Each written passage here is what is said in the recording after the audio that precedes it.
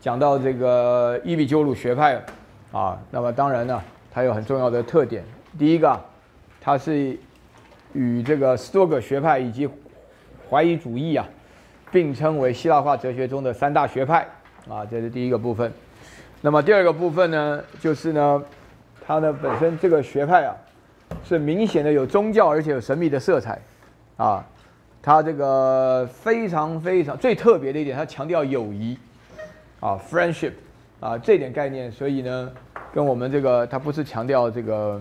好像这个呃，跟到人的自然情感啊，搭配像斯多葛哲学这样，所以这个大家可以了解到，一个强调这个神秘已经有宗教特色的哲学组织啊，它呃因为这个离群所居的关系啊，所以让人呢，这感觉上不像这个斯多葛学派这么占据主流的位置啊。那么原因很重要，可是呢，无独有偶啊，中国这个学派啊，像这个。道家啦，佛佛教学派啊，这些这个政治斗争上比较居于下风的学派呢，也有这个特色，啊，那么这个而且这个特色当中呢，这个伊比鸠鲁学派最特别的就是强调友谊，啊，这个很重要，啊，因为我们呢，这个我们这个社会比较不强调友谊啊，啊，认为强调友谊的都是黑道了，啊，白道人和是踽踽独行啊，啊，认为这个。在家靠父母，出外靠朋友的都是黑道用语啊，所以这个观念上很不一样啊。这个我也是想说说一下。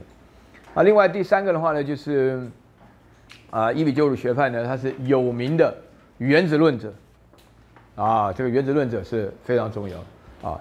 原子论者呢，他最强的地方呢，就是他解释了一切。所以伊比鸠鲁的，因为是原子论呢，它就包含了自动就是唯物论。自动机械论，而且也自动的让我们了解到，所有的外在世界的一切景象，我们感官知觉上所察觉到的内容，都是原子所构成的。原子是包含一切，也说明了一切。啊，经验的话呢，所以他们讲的这个原子的概念 s i m u l a c a 在我们现在解释变成幻觉的意思。啊，simulacra 这个字原来的拉丁字啊，本来在希腊这是 adola，啊是原子的意思。atom 本来是一个概念，就小到不能再小，叫 atom。啊，所以我们现在是讲到这样的观念，就是这三个部分呢，是也算是呃希腊化时代的支流思想，也是希腊化时代中呢比较强调这个出世主义，也是比较这个有特殊的物理学的概念，融合了一切的基本观念啊。那么重点来讲的话呢，有两个部分呢，第一个就是赞同以及强调原子论呢，对后世影响非常深远。啊，为什么呢？因为啊，这个原子论呢是构成现在科学发展的主轴嘛。请大家注意啊，我们现在科学发展是说，原子是一切组成的主要因素，可是没有人可以解释原子哪来的啊。一直到最近啊，不知道你们有没有注意到这个大型的这个离这个什么碰撞机啊，那个什么 hydro 那个翻译叫什么大型什么子的？大强子对撞机啊？大强子对，呃，强子对撞机，啊，对对对，啊，LHC 吧，啊，那么强子对撞机呢，呃，正在做实验呢，要找出上帝的粒子，对不对？那天那个教宗选出来的时候啊，也是习近平选出来的时候，也是这个瑞士的这个研究团队证实，证实这个上帝的例子的确存在，而且就是他们所发现的那个样子东西，但是什么呢？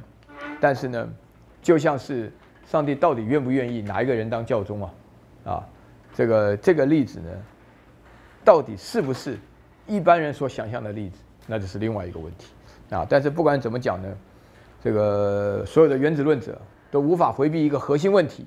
这个问题就是说，我们知道这世界什么东西构成的，但是我们不能够理解世界为什么要这样子构成的，啊，不能够理解为什么是这样构成的。啊，那是思想上理解的一个问题，呃，当然了，因为原子论者他完全起源一句话的假设，只有一句话，就是什么呢？就是万事万物都是原子在空无的空间因碰撞而构成的，啊，是这个这个 colliding 啊啊，就是碰撞机这个碰撞的概念，就是来自啊，到了这个两千五百年前呢，从 Democritus、Lysippus、Democritus。到今天，它没有变过，但是这一句话呢，作为假设，也没有任何的证据，啊，没有任何证据。这个粒子的构成就极小，啊，我们只知道是粒子可以不断的切切割到最小情况。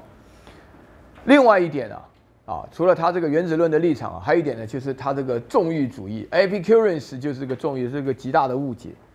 为什么会出现这么大的误解呢？就跟我们的西洋哲学史的这个历史严格息息相关。啊，此话怎讲呢？就是说，我们到目前为止所谈到的有一种主流的思想，这个主流思想呢，这个苏博雅，其中尤其以柏拉图跟亚里士多德为主，是一种思想。下去呢，斯多葛哲学继承了苏格拉底的思想。也变成了主流思想，这个我们刚刚介绍过，啊，可是呢，伊比鸠鲁学派呢，首先第一个，它是一个离群所居、不不入世，啊，出世的一种想法观念，就是比较难以成为主流。另外一个，它的原子论的立场是什么呢？是一种无神论的立场，啊，连上帝这个概念都是人惊叹于自然世界之浩瀚而产生的一种。感受发出来的声音，啊，就是换而言之的话呢，这个上帝后面呢，上帝是什么之前呢，永远是惊叹号而不是逗点，意思就是说上帝只是我们一种 exclamation，啊，这种感觉，其实呢都是粒子所构成的。那这种无神论的观点呢，在这个主流的这个教会传统呢，遭遇到的批判、扭曲，甚至于呢丑化，啊，就认为它是一种纵欲主义。啊，因为他强调快乐，其实我们称之为黑豆为止，就是人生呢以追求快乐为主。因为然后另外一个就是他们强调所有的感官看到了就真的，你看到了一切就真的。为什么？因为你看到的就是粒子所构成的结果。所以严格来讲，每一个人看到东西都不太一样，但是这个东西它呈现出来的机制是一样的。啊，所以这个是一个现在现在来讲的话呢，非常具有科学哲学诠释的角色。啊，现在这个大家啊，我们我们在座有很多的心理系的同学嘛，心理系同学就跟这个呃 Epicurean 这个观点很像，就是说你观察到的心理现象啊，它基本上的起源是一样，但是每一个人针对于我们所观察到的心理现象做进一步的诠释的结果，那几乎人人不同啊，几乎人人不同，所以如何找出最本质性的？的感官知觉是构成了一切事物调查的最基本的理由啊，那么这个当然也构成了实证论发展的一个基础了啊，那么也比较像是科学哲学内容，我就不多的介绍。好，那我们在这个介绍当中啊，这个我们想，我想原则上这个礼拜、下礼拜啊，都会以伊比鸠鲁学派的观点为主啊。这个这个都是讲过了，前面都讲过，不说了。它跟其他的希腊化哲学一样，有它的物理学，有它的知识论，也有它的这个。伦理学啊，那么伦理学分为上帝、享乐主义以及自由意志三个部分，跟我们讲的情况啊很像。好，那么伊比鸠鲁学派呢是原子论者啊，那么是这个由这个 Democritus 啊这个理论呢发展而成的。这个理论认为呢啊，这个独立的存在物被发划分成物体和虚空啊，这个是。重要的观念，我讲了这么多次，不晓得哪一个同学还记得，为什么原子论在西方哲学发展的历史中，每一次都被斥之为无稽之谈？为什么？有谁记得为什么？啊，有谁记得？你记得吗？你记得吗？你记得吗？没有一个人记得，非常好。啊，你们如果都记得的话呢，我就没饭吃了。啊，这个事情呢，就我给你打包票，两个礼拜后再出现一次。因为西方的哲学，从斯多葛的哲学发展，你就可以注意到，凡是拼音文字的哲学，拼音文字哲学，他没有办法在语句的表达上表达出那种真正的无的概念，nothingness。为什么没没有办法呢？因为你总是会去问无的时候，到底无是什么？当你一问这个问题的时候呢，这个无已经可以被 predicated，已经可以被叙述。一个可以被叙述的东西，就是怎么样，就不是无了。啊，就不是无了。所以呢，在语言上所代表的世界中，不存在有无的概念。啊，这个东西很深入，没有无的。我觉得，所有中国哲学里面跟西洋哲学比起来，最强的一点，就是我们有无这个概念。我们这个首先，我们非语音系统，我们的文字一个无这个字，不需要 in proposition，不需要在命题里头，不需要无作为主词，不需要 predication，不需要被叙述。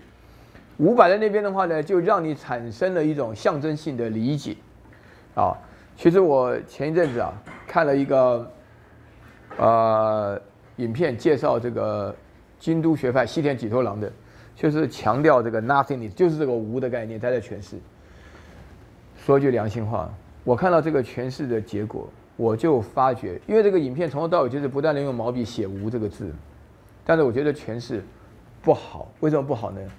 因为对于我们来讲，这个“无”的概念的理解，其实说的并不复杂，就是说，所有你在意识中理解的部分，啊，所以在意识中理解的部分，其实呢，永远只是一个要被取代的过程，并没有什么东西是真正留下的。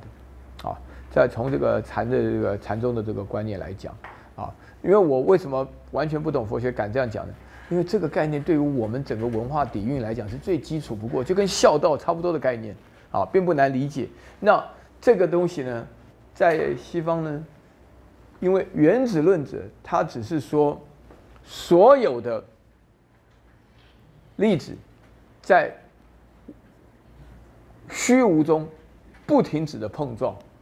啊，换而言之，啊，the universe is the collections of infinite number of atoms in the space, in the void，啊，就是在虚无中这个 void，啊，那么因为呢，这个观念呢，这个空的概念、无的概念不存在，所以让人家发觉说，这个假设本身来讲，啊，是缺乏基础的，啊，因为没有这个。无的东西，直到今天呢，直到今天，宇宙论者啊，物理学家还在讨论，我们所谓的宇宙中有没有 dark matter，有没有 dark energy？在计算的结果，计算的结果百分之九十几是有 dark matter，甚至于到处都充满了 dark energy。就是说这个无的概念一直是不断受被受到挑战的。因为如果没有无的概念，就没有碰撞移动的可能性。亚里士多德的伦的天文学中是没有无的概念，塞得满满的，满满的，是这样才会没有可没有东西 work in a distance。因为你如果说 atoms collide in the void，如果画的话，那就要回答说 atoms 为什么会碰撞，它的 energy 哪来的，等等等等这些问题啊。所以这个连续出现的问题，所以这个就是一种运没有虚无是运动。是不可能的的这一个观念，啊，是一个纯粹从哲学发展出来的观念，而这个发展观念呢，导致原子论者呢长期啊被，就是说虽然他能够解释很多事情，但他一直不断的被推翻、被打倒，啊，发生原因在此。好，那么我我讲强调这个这个观念呢，也最主要呢是告诉大家说，呃，你接受原子论者。跟不接受原子论者会得到截然不同的判断，而核心点就在于有没有无的概念啊。我稍微跟大家补述一下啊，因为我们上这个课，呃，这个昨天我已经把那个课单交出去了。这个是我们的确就我个人呢最后一年在开这个一整年的这个西哲史了，所以说讲起来啊，我已经几次教下来，我也就很熟悉了。我在上那个先书哲学的时候。我把它讲得非常完整。我是说，从 TALES 开始，经过这个 Miletus 啊，Miletus 这个岛上的三位哲学家，我们一直讲讲到最终的一个最极致的一个哲学思想，就是 Parmenides。Parmenides 讲的话，一句话把所有事情讲完了，说凡是会存在的一定存在，不存在的你讲了也没有用。换言之，就是说能够被讲的东西就是存在的，不能够被讲就不存在。整个 Universe 就这样子。整个宇宙就这样子，凡是能够存在东西，共同构成的宇宙，剩下的东西我们也不知道，也不可能有东西。啊，这是巴门尼德斯的观念，就是一种一的概念。突破巴门尼德斯的想法的人，就是 Democritus 的原子论。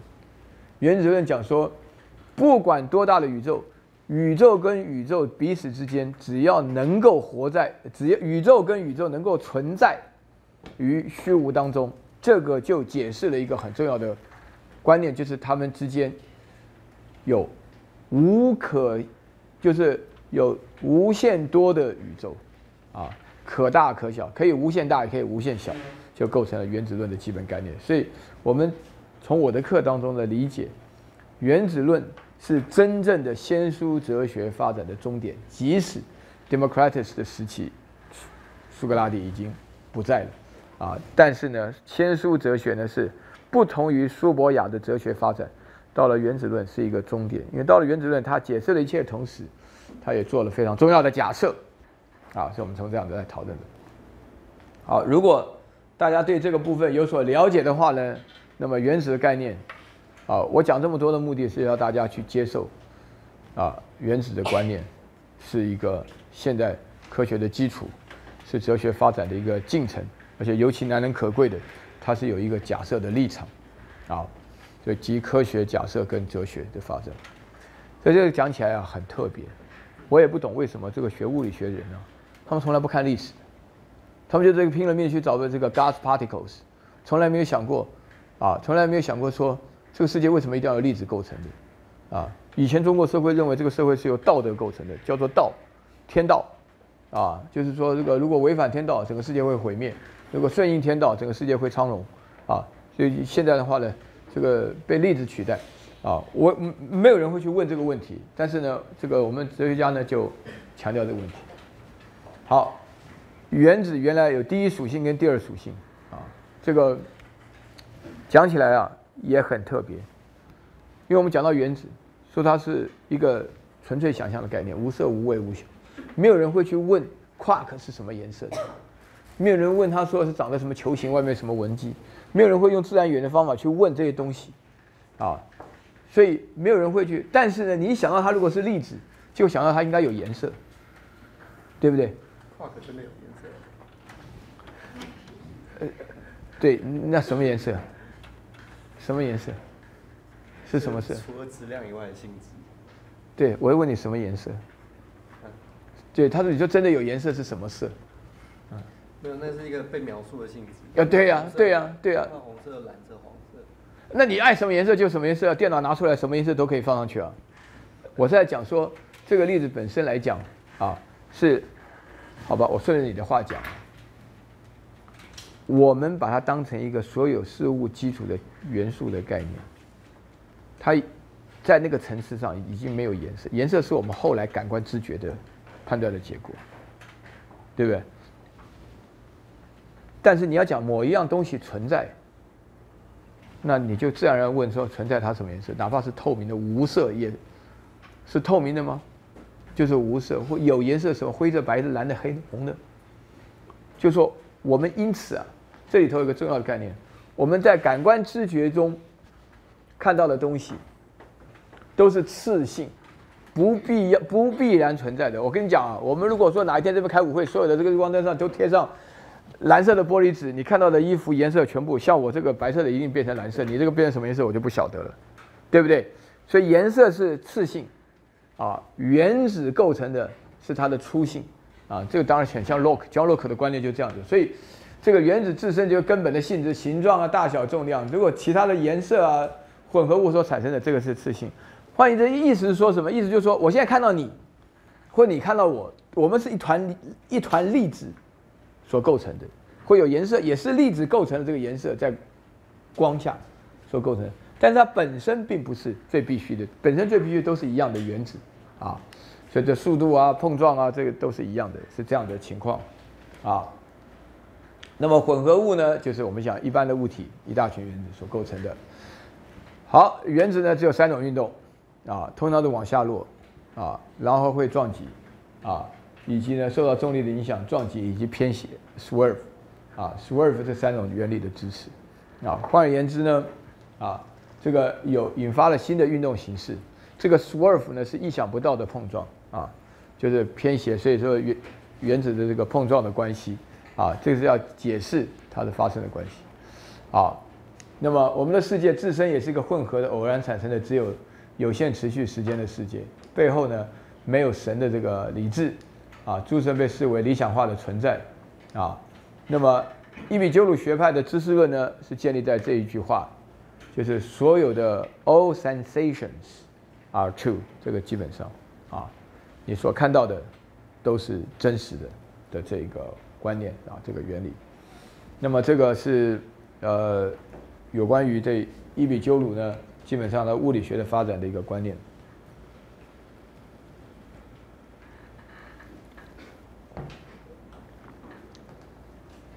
好，那么我们如果说所有看到的都是真实的，啊，其实这这句话，很多人呢不好理解，所以我刚刚为什么说？讲到科学哲学，讲到观察，讲到了这个实证论的观点，就是因为我们从知识的探讨当中啊，大家要了解，看到观察的经验内容，是我们在建构知识的仅有的部分。啊，我们在建构知识的仅有部分，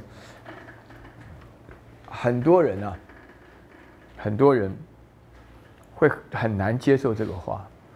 我每一次啊，讲到这个，稍微跟大家强调一下这个原原子论的重要的哲学意涵在哪里。你们要知道，欣赏一个哲学理论是一回事，可是被一个哲学理论所吸引，那是完全另外一回事。就请大家注意，我在这边介绍西德斯，尤其介绍斯多葛学派或者伊比鸠的学派，我不是在跟大家介绍，好像。观光客一样，这里到了斯多葛的城，大家看一下，这边人讲求这个天人合一，讲求道理。那下面是我们到了山上，看到伊比鸠鲁的古城，他们是原子论者，不是这意思。我是在讲什么？我是在讲一种 commitment，就是有一些人他相信，比如说儒家的信徒就相信学而优则仕，学而优则仕是没有经不起分析的，没有道理的。十多个学派就相信天人合一，天道与人道之间是结为一体。伊比鸠鲁学派，他们就相信原子论者。请同学注意啊，相信原子论者的人，就像是一个奉献自己于物理学研究的当今科学家一样。这种人，他如果真的相信他所研究的理论，他自然而然。会发觉，这个宇宙的秩序就是以粒子为主，然后他判断事情是会非常理性的，而且他会认为说，在我们嗅觉、味觉、视觉、听觉跟触觉这五种感官知觉以外，没有具有共通意义的第六感。啊，为什么？因为所谓具有共通意义，就是。透过我们的 sensations 感官知觉，要能够察觉原子的结构以及所呈现出来的面貌。第六感，比如说对于道德上的一种关怀、同情弱势，这个没有客观的基础；对于美学的鉴赏，啊，情人眼里出西施，这个没有共同的基础。啊，对于这种神圣性的超越的，啊，对于感觉到说这个人有阴阳眼、有超能力，没有共同的基础，啊，这种经验都存在，但是它属于个人的，不属于这种原子的排列能够被呈现出来的。这个有一个很重要的观念是什么呢？就是说，我们今天讲到这个社会，一般的社会啊，一般人的心理啊，对于这个世界中只有。感官知觉存在，其他通通不存在的这种实证主义主义的说法，是很排斥的，非常排斥的，会觉得说，啊，也会觉得说，像我我讲的日行一善跟日行一恶，讲到这个斯多葛的这个 indifference，大家会觉得说，如果你这个人对于世俗的好坏标准都能够反抗的话，那你这个人太没有人性了，就用这种你问你是不是人的角度来判断你对这个事做法。可是原子论者呢，他们有一个很重要的观念。这个相较于我们自己的社会啊，我我很无奈的讲出来，我们现在的社会基本上是理性跟迷信不分的，你知道吗？我们现在社会是理性跟迷信不分，你这件事情你感觉上，你我请大家挑战我，啊，请大家挑战我。如果说听得很不爽，讲说我这受教育都是理性迷信分得一清二楚，你怎么这样讲啊？那我愿意听听看你的意见。我为什么要强调这个理性跟迷信不分的事情是一个遗憾呢？大家要了解，我们现在学的东西是完完全全以科学教育为主，啊，因为我们也不承认仙公庙的什么道教训练学院嘛，我们的我们的教育部应该是科学教育部，所以我们虽然没有明确的科学教育，但是我们在教育当中应该教人家什么东西是有基本上的共识的，我们教人家都是不离开科学的本质，对不对？啊，那如果不离开科学本质的观念是确立的。那理性跟迷信不能区分的话呢，就是一个遗憾。啊，那什么样的环境下，理性跟科学是很明显的区分呢？原子论的观点，原子论的观点是把所有的事物的理解当成固定的理解的对象，这个是重要的区分。这个区分非常重要的原因，是因为它连带的，它有坏处，我承认。它连带影响到唯物论、机械论，啊，以及什么呢？以及这种科学理性的启蒙思维，啊，那这个，因为我们现在活在一个理性跟迷信不分的社会中，大家间接对于所谓的理性的启蒙思维、科学理性的启蒙思维有反感，有反感，觉得是用一元化的观点，但是我同时也要强调。你有没有了解过，为什么后现代的思维，我们接受哪一种哲学都拖拖拉拉的，意思是感觉上有一种不舍的感觉。只有后现代思维感觉上好像回到故居一样，非常熟悉，啊，所有的那种边缘化的论述变成为主流思想，啊，像我们的我们的环境，啊，这个这个对于环境的偏爱，啊，对于这个能源的开发，我跟大家顺便讲一件事情啊。啊，呃，日本这个国家，在三一大地震，我们三一大地震后看到日本人，我们的论述都是日本人施工程度这么高，都会出事，那我们台电一定会出事，所以不要改了。啊，道理这个逻辑就是这样子啊，我我接受大家的 challenge。你们知不知道昨天日本的福岛电厂又出事了，停电了，是不是？还是我看错了？恢复供电。恢复供电之前是不是停电？没事干，恢复什么供电？嗯，是不是出了一点事嘛？对不对？有停电嘛？那停了一年然后恢复？不是啊，昨天我如果没有看错的时候，好像又出了一点事情，是不是？是嘛？对不对？我还以我我以为我看错了，因为我半夜睡不着觉起来看电视，一看怎么啊？怎么搞的啊？所以你讲的恢复一年之后又停电了，你知道吗？所以你看，你们都不读新闻，是这样的吗？昨天嘛，对不对？就是有个地方突然发生停电，因为他们有点小地震。不是有个地方啊，一场、二场、三场、四场全部停了。哎，这种事情啊，这种事情啊，如果说核适运转运转后不到两个月，突然出现合适的一场、二场、三场、四场全部停电，你觉得在台湾出现什么结果？我告诉你，不得了啊！敢死队都派进去了。啊，大闹了，为什么呢？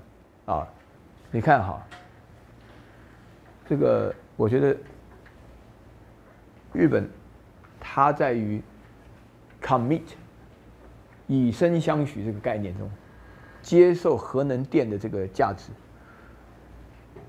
能够力排众议啊，就是违反世界潮流啊，一意孤行这样讲好了，啊，而且有很多。能源技术上的限制，那在台湾的社会啊，这个我这样讲，理性跟迷信不分的社会，好像同学也没有人抗议，也没有人反对，这其实是蛮严重的指责的，大家都没反应。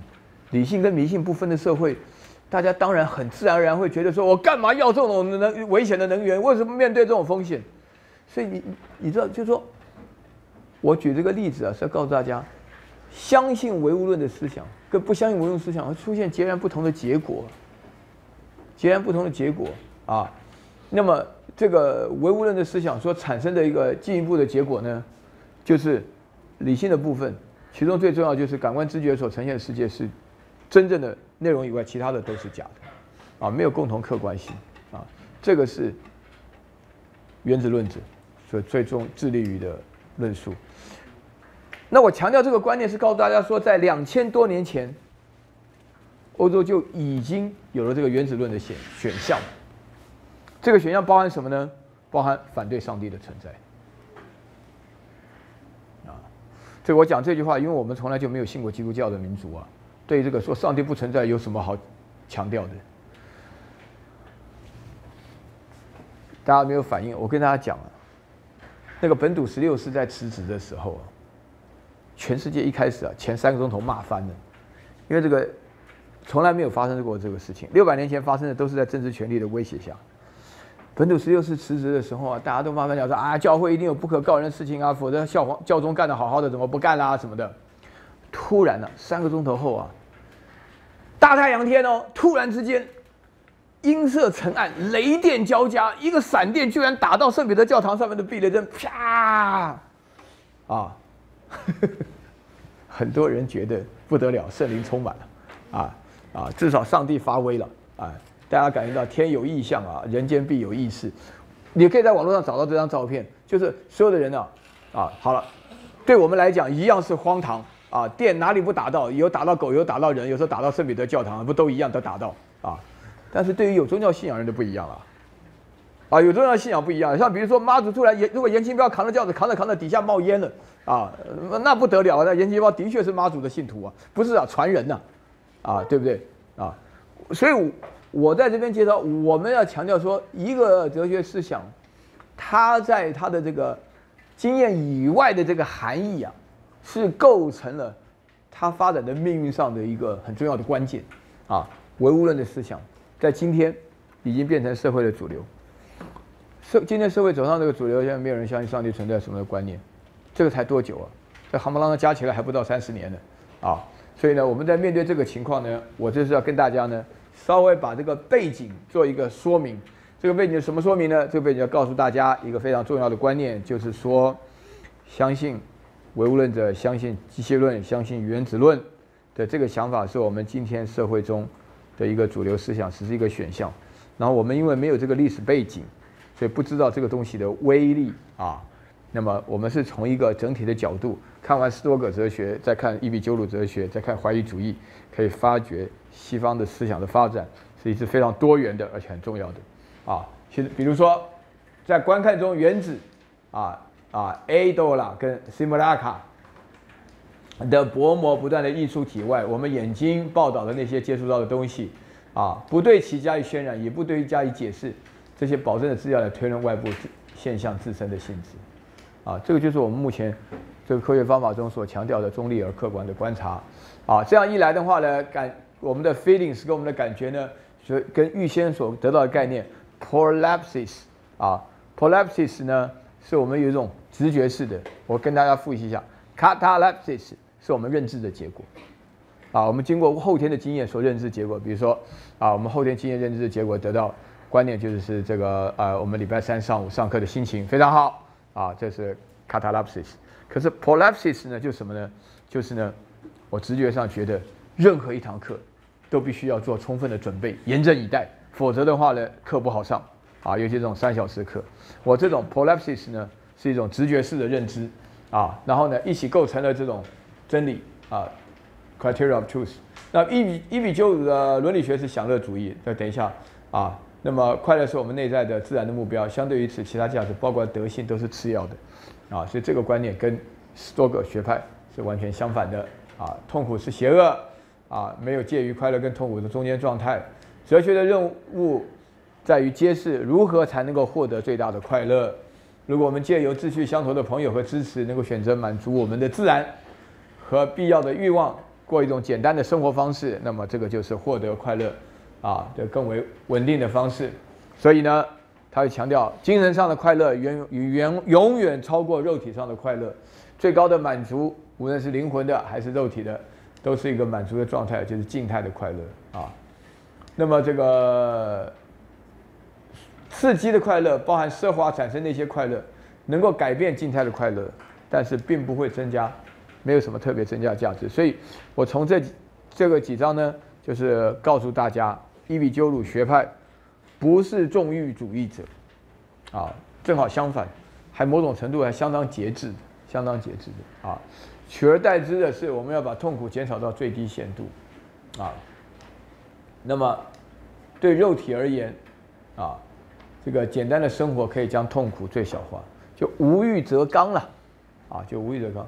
对于灵魂来讲呢，获得快乐方式是研究物理学，啊，物理学通过消除人类两种这个极度苦恼的泉源，就对神和对死亡的恐惧，获得这个终极的快乐，免于干扰，啊，免于干扰的这种啊，ataraxia，啊，就是不受干扰，啊，就是这个，啊，过的这个这个宁静致远的生活啊，啊，了解这个物理学，啊，这个是一种出世的想法观念，啊。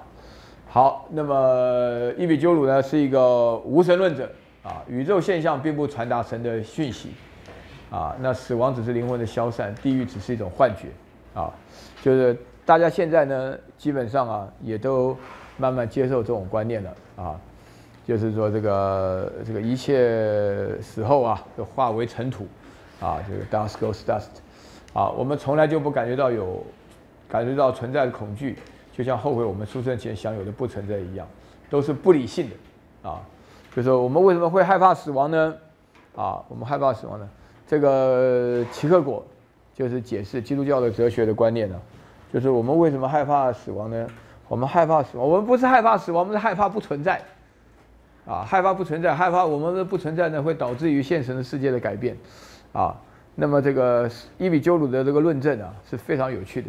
啊，我们对于不存在的害怕，啊，根本是多余的，因为我们原来就不存在，我们只是中间这一段，然后又不存在，啊，有什么好害怕，有什么惋惜的，啊，这是很有道理的，啊，这个是我们现在普遍上都能够接受的观点，我并不是说大家现在都不怕死，我不是这意思，我只是说，大家对于死亡的恐惧是很茫然的，然后呢，基督教哲学对于死亡的解释呢是。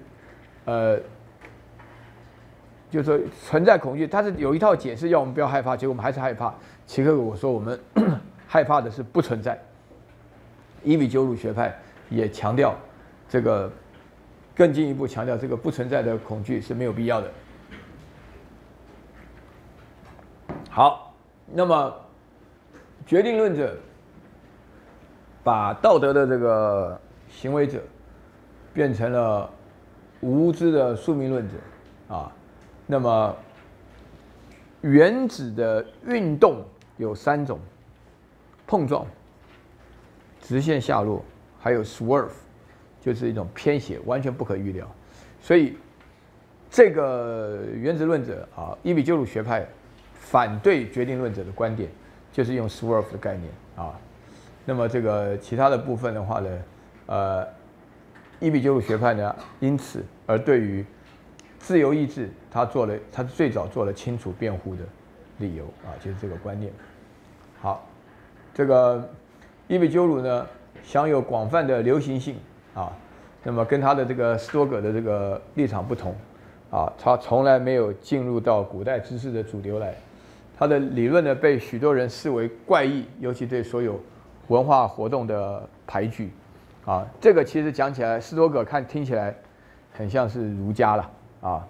这个 Marcus Aurelius 很像是汉武帝啊，然后这个伊比鸠鲁学派很像是道家了，或是这个佛学了。他们是归隐山林啊，啊，就强调自己的群居生活。应该讲起来有点像是，呃，在这个群居上来讲，有点像墨家了啊，是这样子，可以两者之间做个比较啊。那么呃，伊比鸠鲁学派呢，日益被视为无神论的。啊，他的禁欲式的享乐主义呢，也被曲解为粗鄙的肉欲论啊，sensation 的 sens sensualism。文艺复兴的时候啊，的人文主义的对他强烈的兴趣使他得以复兴。啊，你看我把这两个摆在一起啊，我跟大家说过啊，文艺复兴表面上是恢复人文主义，其实是在罗马帝国的意识形态下。恢复了古希腊的思维，所以文艺复兴对于真正要反对的，极有可能是一种宗教的反动，至少是为宗教的反动奠定了很关键的基础。所以人文主义者对于伊比鸠鲁学派有强烈的兴趣，主要的观念是他们一种无神论的思想，啊，就是说没有这一千年的严厉的基督教哲学的压制，不会出现科学大革命这种借由反对宗教、反对基督教，而甚至于反对了有神论者所出现的唯物主义制的科学观，啊，做了很多的解放解开，啊，我们今天来讲啊，相较于我们这个环境中啊，我们因为没有这个基督教传统，所以我们感觉到非常费解。就是说，为什么宗教的因素的参与不参与，会足足影响到从黑暗时代变成启蒙时代？为什么这么大的影响啊？因为我们从来没有信过这个教，既无黑暗又无启蒙，啊，就浑浑噩噩日子荡啊荡啊荡到今天，啊，这个差别非常大，啊，那么这个启蒙的想法，啊，是一个很重要的一个观念。所以呢，这个他的原子论呢，特别是经过嘎三迪，啊，这个好像是好好像是一个意大利人，啊，在十七世纪到。呃，十六世纪到十七，主要是十七世纪的作品，对近代早期的物理学产生了重要的影响，啊，所以这个也是说明了它这个发展的一个很重要的观念啊。那么这是一个非常重要，啊，那么这个呃，我们这个刚好有一个很明显的区分，我这个是整体性的把一比九五的观念做一个介绍。来，志凯做个代表，发发言一下，让老师听一点回馈的意见。嗯，我想要问的是那个。原子论它反而肯定了物质跟虚空的区分。嗯。那其他的就是希腊时时代的世界观，难道就没有虚空这个概念？没有。没有。可是像 Stoic 不是有讲就是。Void。对，就是。他是讲，他是讲 lecta，单数叫 lecton，什么是使得言之有物的理由？啊，void，就是说，呃，因为我我我从无到有，我看的讲义上区分的是物质性的存在跟非物非物质性的存在。那非物质性的存在包括时间、虚空跟 lector。嗯。那那它的那个虚空到底是什么样的虚空？因为中文是用虚空。对。对，那那跟这个原子论式的虚空。从无到有，啊，从无到有的意思是说，时间、空间、void 还有 lector 嘛。这是这个属于它原来不能够被个体化的东西有这四样啊，因为这是一个必然使得事物存在的条件，就从无到有。但这讲的全部都是用语言的世界建构我们真实的世界。就我们的世界是说出来的。我举个例子，我举个例子啊，蒋介石过世了，他还存在吗？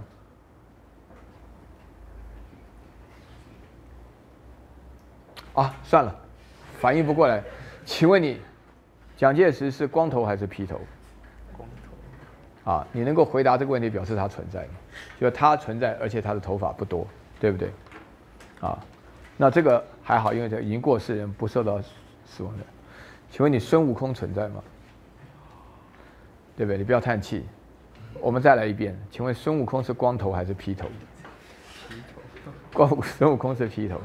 您能够回答问题？这同学，同学会觉得孙悟空应该没有光头的孙悟空，我也不晓得。那孙悟空到底存不存在？不是重点，重点他的确存在，因为你可以说他的发型，你可以说他的发型，比如说柯南存不存在？柯南的发型，柯南什么发型？我不晓得，我没有看过漫画，什么印象？他什么发型？光头还是披头？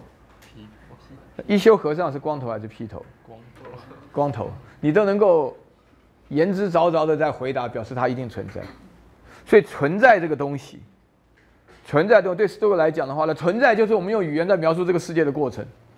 比如特洛伊战争到底存不存在？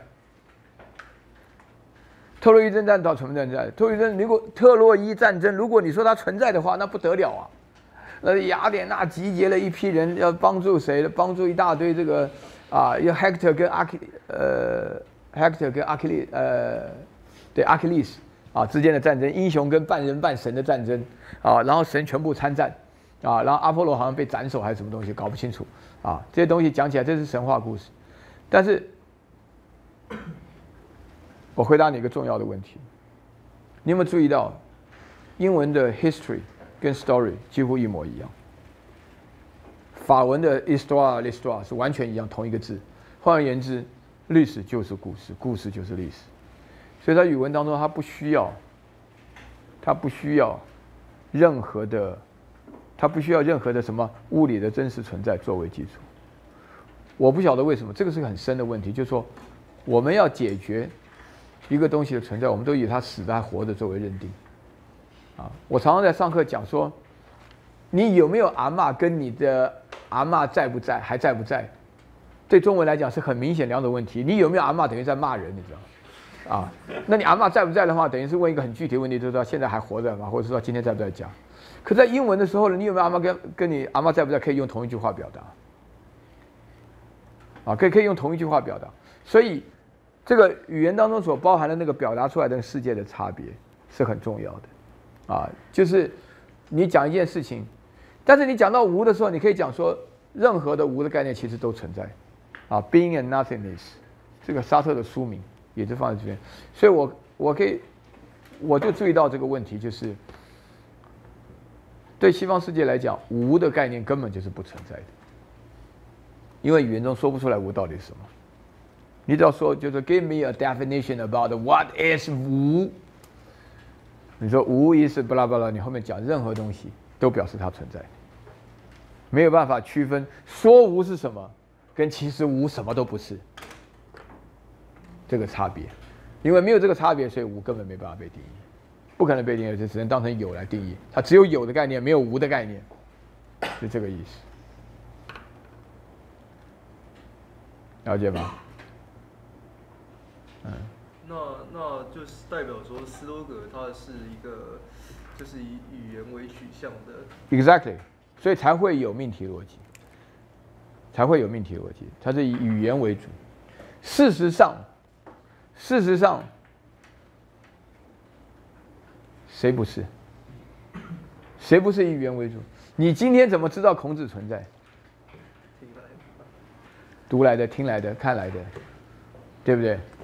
你怎么知道孙悟空存在？读来的、看来的，对不对？为什么你看了？你有没有看过孙悟空？什么没有看过？你当然看过了。你没有童年吗？怎么会没有看过呢？有看过啊，当然有看过了。孙悟空，你有没有见过没有没有这个头上那个金箍的孙悟空？在水帘洞的时候，经过还可以讲了哪一哪一个什么点，为什么掏掏掏上去，怎么来的，都有故事，有脉络可循啊，对不对？是他自己弄了个铁环子锁在头上的，还是别人放到他头上的？别人放。不对，还可以纠正你，他自己放上去的。他一放进去，那个东西马上就缩进了，哎，然后呢，只要这个。唐三藏一念经就越缩越紧，痛他要死，永远拔不下来，哎，变成很像是一个安全套环一样在他头上。故事是这样子，啊，很多人认为是这样子。你不能够讲说孙悟空突然出来以后讲啊，把那个铁环拔下来，把释迦牟尼打了一顿啊，那这样大家觉得这个不叫孙悟空，这叫做悟空孙，啊，这不一样的，啊，对不对？所以故事跟历史本身在性。真的问题上来讲，是举的同步的地位，所以就没有无的概念。你只要能够被叙述的东西，就没有存在的可能，对不对？这这个是其实直到今天为止，语言跟物理世界所呈现的最大的差别。所以，我我跟你讲，一百年来啊，一百年来，我们这个科学哲学对于物理学到底在干嘛，已经没办法讲了，远远超过我们的语言能表达的范围了。那那我还要再问，就是说，同同学，我们互动一下哈，就晚一点下课没有关系。那个原子论者他到底是相对于呃 Stoic 他们跨越了什么反例，以至于他可以主张一个虚空这样的东西？关键的，我刚刚讲了，关键就是传统啊，关键传统啊，你仔细想想，先书哲学 Democritus 的观念是怎么出来的？要突破 b a r m e n i d e s 的观念。有这个传统，所以大家讲的听起来比较合理啊。他主要的观点是你相信了原子论者以后，你就不用相信有个神在，你就不用害怕死亡的问题啊。所以这是一个根本上的信条。他们我不能够这样子讲。其实我如果可以进一步发挥，我也问了跟你一样问题。但是我们在讨论这个问题，我们不问他们怎么会这样想？我们只是说这种想法在我们身上来讲，我们有没有采信它的可行性？因为今天我们已经百分之一百相信了是原子论者，对不对？否则你怎么考到大学来呢？对不对？我们已经放弃了十多个学派，但十多个学派之所以变成罗马帝国的主流思想，我们也可以理解。我们现在强调，就理解而言，它是重要的。就是它怎么样变成时代的主流，这个我没办法回答啊。为什么？比如说今天的现代物理学的发展。啊，这个粒子论的发展变成今天占据主流位置。你现在听过台大物理系哪个人讲说，呃，不一定，我们事物永远不用粒子？那这个人根本就没有资格在，他只能够在那个易经学社教书，不能够在物理系教书啊，对不对？这讲得很清楚的，啊，所以这个观点为什么我强调说，学术领域的分类一定要清楚，理性跟迷信一定要分清楚，道理在这里。我们先讲到伊比鸠鲁学派，为了要讲的顺一点哈。给大家一个基本的观念，我不晓得大家有没有注意到啊？讲到斯多葛哲学跟伊比鸠鲁哲学啊，我不晓得是有意还是无意，把他们讲成一种完全两种对立的思想。斯多葛的哲学的话呢，可以说称之为顺应自然，顺应自然啊。然后呢，伊比鸠鲁学派呢，可谓之什么呢？可谓之建构自然。啊，我们今天讨论到自然化哲学的时候，就有这两种立场。我们我我们问一个很理性的人，问台大物理系的任何人，他一定会说宇宙论与夸克就是自然所呈现的最原始的面貌，对不对？啊，那如果我们问一个非常迷信的人，如果我们一起的话，在校外教学参访这个仙公庙，访问里面的道家学道教学院，请了他们这个哲学奖第一名出来，啊，他讲的话呢，他们是怎么样呢？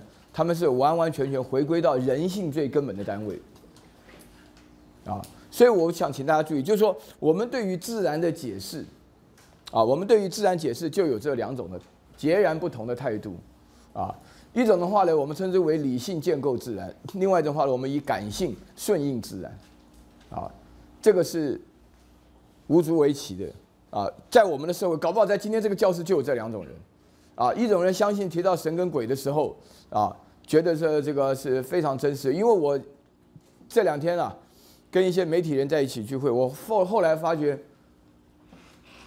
媒体人对于超自然现象，啊，一个就是问到那个关键时刻里面报告的内容有没有可能有任何的真实，我一开始以为这个是不可能有真实，结果很多人就讲的啧啧称奇。另外又问到中医的疗效，大家更是五体投地啊，那么我就。很惊讶，发觉这个顺应自然跟建构自然这两种观念，是影响我们社会非常艰巨的任务。那有什么重要性呢？重要性的话呢，在哲学上来讲，我们非常，我们现在整个哲学的发展，当时发展全部是 naturalization。啊，我们这个六月份要开会，请一个最有名的科学哲学家，Alexander Bird，他认为伦理学，呃，形上学的基本观念就是 natural kind，就自然到底有什么的问题。我们一路上讨论下来的问题都是自然到底有什么的问题，啊，What's it? What's out there? 这为什么这个问题非常有趣呢？因为请大家把 Parmenides 的观念放进来想就要想了，凡是存在的东西，它就是具有存在的可能性；凡是不存在的东西，就是没有这种可能性，啊，所以我一开始呢给大家讲的，我们花了相当长的时间谈了。我们花了相当长的时间谈了斯多葛哲学 （Stoic philosophy）。斯多葛哲学为什么花比较多的时间呢？是因为我们要借这个机会来聊西方哲学后来发展的主流思想、正统思想以及各种精神生命的启发的来源。可是我们讲到伊比鸠鲁哲学的时候呢，这个态度呢就要完全放到今天。为什么今天呢？因为伊比鸠鲁的哲学。他一开始在建构自然，在建构的过程当中，他提出了一个基本的标杆点。这个基本的标杆点就是一句话：自然是由原子所构成的。如果说只有这一句话，请同学注意这件事情。这一件事情本身完全没有根据。我们在座有些同学，高中的时候物理化学读得很好，说不定大学也读过一两年的理工科。我们有心理学的同学，有数学系的同学。你们在学物理、化学、生物的时候，包含心理学的时候，他永远只会告诉你，人的行为是由不同的片段、部分粒子所组成的。但是为什么这一句话就是人的行为是由片段粒子组成的，或是整个世界是由粒子所组成的，或者说所有的化学里面的反应是由粒子跟粒子之间产生的 chain reaction 这种产生的发生的？这个所有的观念中最根本的一句话就是世界就是这个自然是由粒子或者由原子所构成。这句话是不容许挑战，是一个公理。什么叫公理？就是你必须假设它为真，你不能讨论它本身的真实性，对不对？所以这个话呢，它非常硬，硬到什么程度呢？硬到两千年来，它只有这一句话：相信我就相信一切，不相信我就没有。这是像什么？这跟跟上帝的信不信神存在是一样的功效。如果你对于这个系统性的建构有一点概念的话，你会发觉，相信世界是由原子所构成的，跟相信这个世界是由上帝所创造的这两句话的本身的信念的强度。基本上一样的，但是有一点非常不同。有一哪一点非常不同呢？就是我们以往对于经验的定义，是来自于一种感性的定义，是有一种顺应我们情绪的定义。啊，这也是为什么我们这个社会今天在台湾是理性跟迷信不太分的。我讲这句话对着这个荧幕讲，传播到全世界。我为什么敢讲这句话呢？因为台湾最伟大的地方就是在于从来没有破坏过我们的传统。在大陆的这个观众们，他就知道，经过这个这场破四旧以后的那个破的程度，啊，就连我老山东老家在曲阜都照样破的，基本上是相当彻底。它的破的基础就是一个唯物论的基础。四旧旧的是什么啊？什么叫做旧的？那我们没有没有破除过，没有讲直接一点，没有迫害过我们的传统，所引发的结果必然是那个原来非科学的传统跟今天这个全面当代科学的传统结合在一起。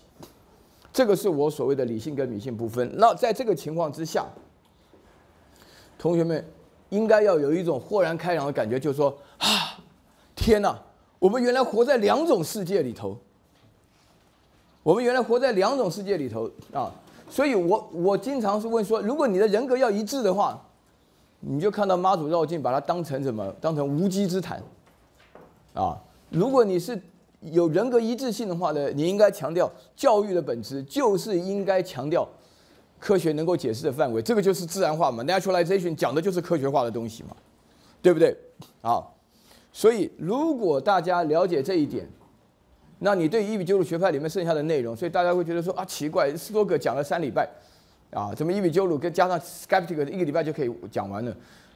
就是这么简单啊？为什么呢？因为他这个是一个基本的信念。因为我们如果要讲基督教哲学，如果我们不讲论证，只讲说上帝创造了一切，你今天知道有这样子，你头发长头发短，这个这一切都是上帝创造的。你现在会做任何事情，你现在会翻书，你现在会低头，你现在会写字，都是命定的，你不可能不写。这 determined God's will decides everything。如果是这样子的话，没有什么讨论的空间，一分钟讲完了。所以，今天的科学世界最大的问题，也是最大的好处，就是它的好处。我先讲，就是它的典范性奇强无比。为什么？因为以前说上帝存在的那个经验成真的环境不见了。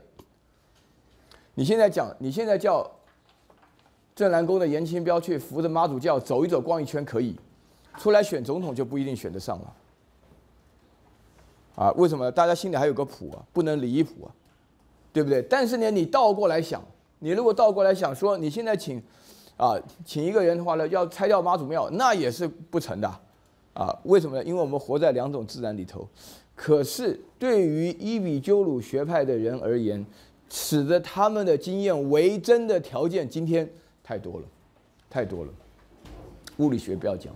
化学不要讲，生物学，我跟各位强调，今天我们人性的尊严可能还有突破的点，就是三个学科：生物学、心理学，跟什么呢？跟医学。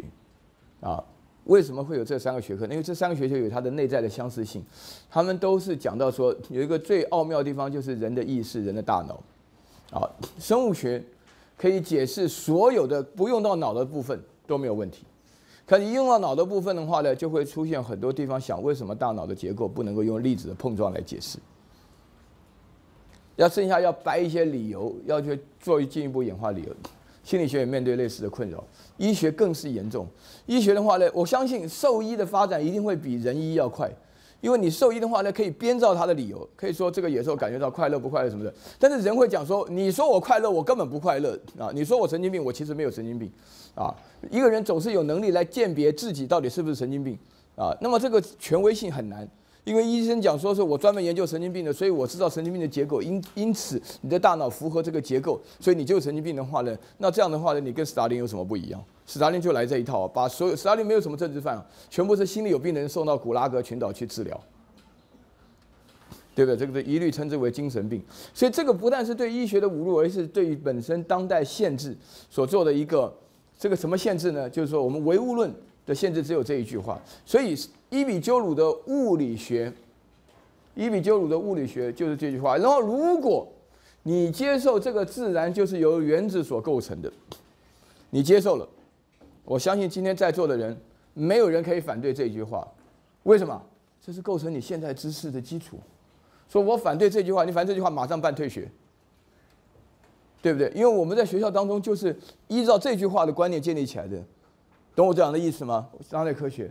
如果你舍不得退学，如果你要接受这句话，如果你不愿意心悦诚服，那你当然学的绑手绑脚，啊，所以我说我不乏那个什么以前的什么很多那个凌云大师啊啊，到西藏学的藏传密宗就是哲学系毕业的啦，啊，哲学系的话呢，别的没用，在这种加强特异功能上来讲的话呢，还具有蛮好的 credit，啊，对不对？如果说是你啊，我看到很多，我看到很多那个招摇算命的人。啊，打电话给我啊，听完啊一一见面啊，就叫不叫我主任，叫我大师。我说哎哎哎，你们搞清楚，这个不能乱叫啊，别的戏可以叫，我们这戏不能叫。那叫大师的话，我们变成未预知未来，所以这个是基本观念在这里啊，大家要搞清楚，厘清了以后呢，就非常好谈了。首先，接受原子论，就代表你接受了。什么论？机械论，对不对？接受原子的代表你接受的一种机械论，mechanism 这个字重音节在第一音节啊啊，变成这个形容词 mechanistic 是在后面。mechanism，如果你接受了机械论的话呢，就表示你接受了唯物论 materialism，对不对？对不对？如果你接受了唯物论以后，啊，你就接受了所有的自然的一切，都是在这个观念下，就是说原子论、唯物论、机械论三个概念集合下创造出来的。所以说这个 the world 啊，在这种情况下，你会发觉，凡是不能不能够被物化的，是没有价值的，啊，或者是你可以说。像你就问我说：“老师，那伦理学有没有帮助？有啊，什么帮助？受了助人为快乐之本呢？因为我要追求快乐，伊比鸠鲁的观念，所以我才助人呢。哎，说说助人后为，差点讲成虽小，助人为倒霉之本，那我就倒霉，我就不快乐，那我干嘛助人呢？通通有为这样的目的。如果斯多格讲 No，good is good by its own sake。”啊，it cannot be a means towards an end，啊，就这个意思。所以说，我们讲说手段跟目的的区隔啊，比如说我们现在讲我们做的任何事情，人人家讲说啊，人家我每次喜欢问你报考哲学系的目的是什么？这几天我正在心里在想这种问题。你报考哲学系的目的什么？啊，很多学生讲，嗯，我的目的就是要准备转系，因为其实我真的喜欢的是管院的科系。我们马上就露出很微笑嘴脸，非常好，至少你诚实，啊，那当然他讲，那另外有一些比较厉害的，就人是会演化的，会进步的，对不对？那你报考哲学目的，我好喜欢哲学，真的真的，老师你一定要相信我，真的啦，啊，我们一听，那讲讲看你读过什么哲学的书？有啊，桑代尔的什么《正义一场思辨之旅》啊，还有《出飞的世界》，啊，那这两本书一不一样？这两本书不一样。为什么不一样？一个谈正义，一个谈世界，啊，我们心里就明白，只看过书名啊，啊，没有办法展现出 intrinsic passion 内在的热情。对于唯物的世界来讲，这是不存在的。所以，请同学了解，在这两种自然观当中，唯一能够贯穿两者，大概只有我们系的教学内容，只有哲学能够贯穿这两种自然。所以，哲学的重要其实也就在这里。啊，今天如果说你觉得哲学没有用，对，因为你已经有一个自然世界，你现在我们跟现在活的跟中世纪没有两样嘛，对不对？一切都是科学发展观呢，这是大陆十八大以后的既定方向嘛。好，那如果同学都了解，因为我讲的这个非常合于道理啊，我就接下来就我们可以很好的了解整个世界一片迷茫，为之开朗啊！一开始的时候呢，还仿佛若有光，最后的话呢，不得不戴起太阳眼镜来看一下这个世界啊。好，伊比鸠鲁的宇宙观以永恒存在为主，因为没有没有开始也没有结束，就是永恒存在。没有任何事物，没有生命，一切都永久存在。所以，我们从现在开始，把这里面的五十九张投影片念给大家听。六十多张的时候，念给大家听的时候呢，请大家注意，我们只要找到跟当代科学观哪一点不一样，是我们要讨论的，否则就顺着下下去了，没有什么好不一样的。为什么当跟当代科学观不一样，要特别讨论呢？因为当代科学观就是两千年前伊比鸠鲁学派的观点的进一步的延伸。所以他们的不一样，我们就要考虑到，在历史的纵深中，在历史的发展当中，有一些观念是老早就已经在那儿了，有一些观念是经过历史的发展后慢慢转变的，啊，那可可是我们在讲的时候，大家就会注意到，原来在希腊化时期所讨论到的哲学议题，今天很多人都不讨论，表示我们更进了一步，把人对于情感内部的经验。感觉的经验又做了进一步的化约，这是我们今天最大的悲哀。我们这个社会今天比伊比鸠鲁学派时代的悲哀，就是在于说，我们往前，我们的唯物论、我们的原子论、我们的机械论往前更进了一步，所以每一个人变成独立的个体。这一家只有一个小孩，没有兄弟姐妹，啊，我实在都不忍心问，在座就是说没有兄弟姐妹的举手，我不敢问你。因为这种人对我成长的时代来讲，简直就是男的就是 gig，女的就是 princess，都是被欺负的对象啊，就是完全不能理解。可是现在已经变成了很很很很重要。我们那个时代兄弟姐妹一大堆啊，大家的话呢出去打不赢的话就叫哥哥来，哥哥也打不赢的话呢兄弟两个一起上啊啊，就我们这个就是那个时代的啊。好，没有生命，物理发展一种观点。唯一存在的就是个体与空间，就是原子与空间，无数量无限多，空间就是所处的位置以及物体移动的范围。个体与空间是两个相排斥的概念，不是空间就是个体。我们上礼拜有解释过，所以我跟大家稍微讲的快一点啊。所有的事物为三度空间状态是立体的，啊，就是这个个体，原子跟就是原子在空间中移动。个体是一个最小最硬的原子所组成的，啊，那么简空间包含使得运动成为可能的绝对虚无。我说过，这个绝对虚无是个重要概念，nothingness。啊，原子 atoms 是伊比鸠鲁的最小个体，没有任何的个体比原子更小。啊，原子所组成的原子群体可以因为各样的现象而有不同的变化。所以我现在看到这个同学他穿的绿色的长袖的 T 恤。Adidas 的啊，后面的话也是长袖的 T 恤，黑色的。那你这个是啊白色的啊，你这个是这个蓝灰的。我看到这些颜色，我真的看到颜色吗？No。你看到什么？你看到原子的组成？看到蓝色的原子吗？No。你看到的原子的组成让你看到蓝色，对不对？为什么呢？因为我有我自己的内在生理结构，我看到是蓝色。搞不好有个人得到色盲的时候，他一看，他都是白的啊，或者说是。色盲，我听说，因为我不是色盲，我听说色盲把红的跟好像绿的都看成白的，还是灰的，我搞不清楚。但总而言之，他看到颜色不一样，就就说他讲的情况不一样。但是有一点是不容置疑的，就是我们那个基本的观念，所有的现象还是由原子所构成的，啊，所有现在原子构构成的，请大家注意，这个这个有有差别的，有差别的。比如说，假如我们今天来上课的时候，前一天这个教室开了 party。日光灯全部被包了蓝色的玻璃纸，那么说蓝色的玻璃纸的时候，你的这个颜色上面衣服，你底下的那个白的就会变成蓝的，这个我知道。可是你那个黑的，你那个黄的变成什么颜色？我我我可能需要一点想象力。所以换言之，我们会看到的颜色，颜色的本身的组组合，那个 array of atoms 那个原子的组合是那个原子的组合是固定的。可是我们每一个人的 sense perception 的 perceiving 能力是不一样的。啊，好，对了，不能够无止境变化去下去，因为原子群有限的变化，可能你只能形成少数的样式。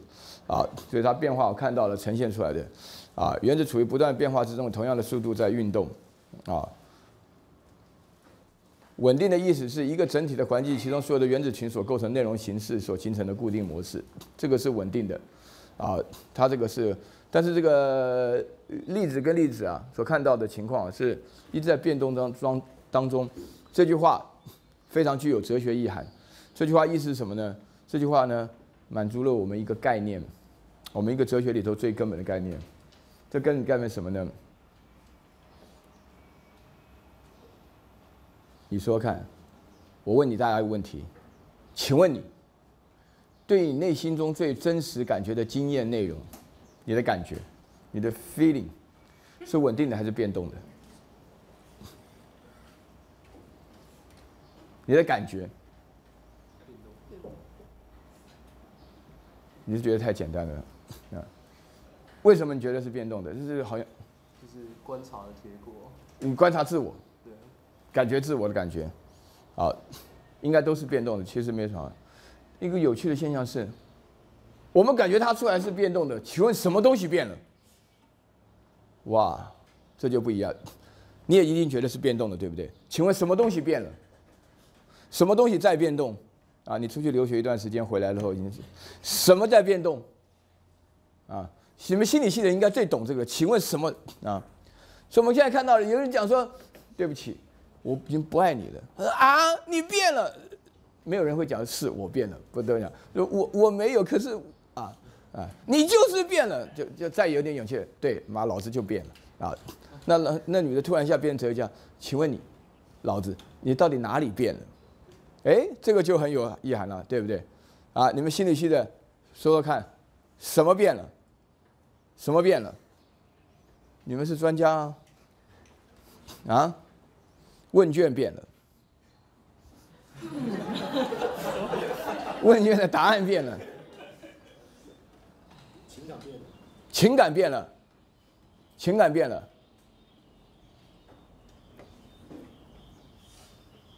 情感变了，原来有情感，现在没情感。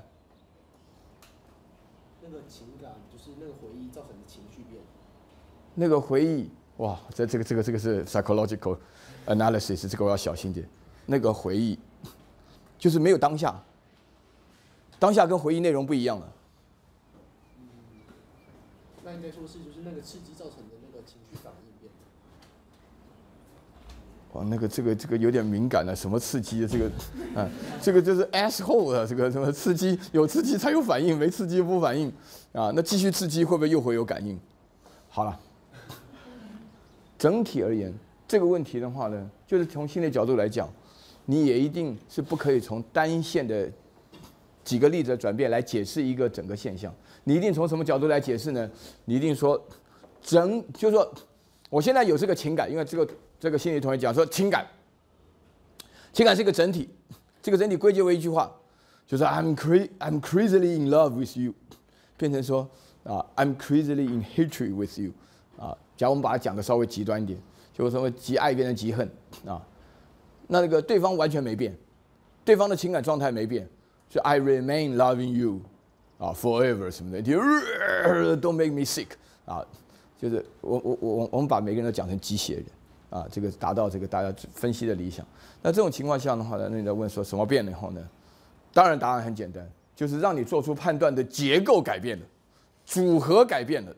粒子跟粒子之间碰撞的关系导致它改变的，啊，请大家注意，说整个自然是由原子所构成的这一句话，从另外一个角度来讲，很符合我们的经验，你知道吗？对不对？为什么你们俩刚刚都是说改变了，对不对？那你们想要类似的感觉，符合我们什么经验？就是说，我们的经验中告诉我们，我们的内心世界的情感是变的，什么变的？它组成的每个部分都在变了。比如说，原来哇爱的不得了，就是已经三天没吃饭了，啊，我亲眼见过大学的一个同学，他一谈恋爱的时候，三天门没有开过来，就在门里头，啊，我们以为死掉了，你知道，啊，后来他说不要吵啊，我继续活着，又活了三天，啊，吓死人了。突然呢，两个人呢，三年没见面了，啊，整个变了。就是我们只有从整体的角度，我们每个人都有这种感觉。所以伊比鸠鲁的那一句类似公理的话，那类似 axiom 的话，不是空穴来风。所以，我们每一个人在内心世界进行一个 introspection 的时候，我们对内心自我探讨。你随便问任何一个学科人，问到最后，比如说，比如说大家讲说，前年的今天台湾经济还非常好，怎么今天变成这个样？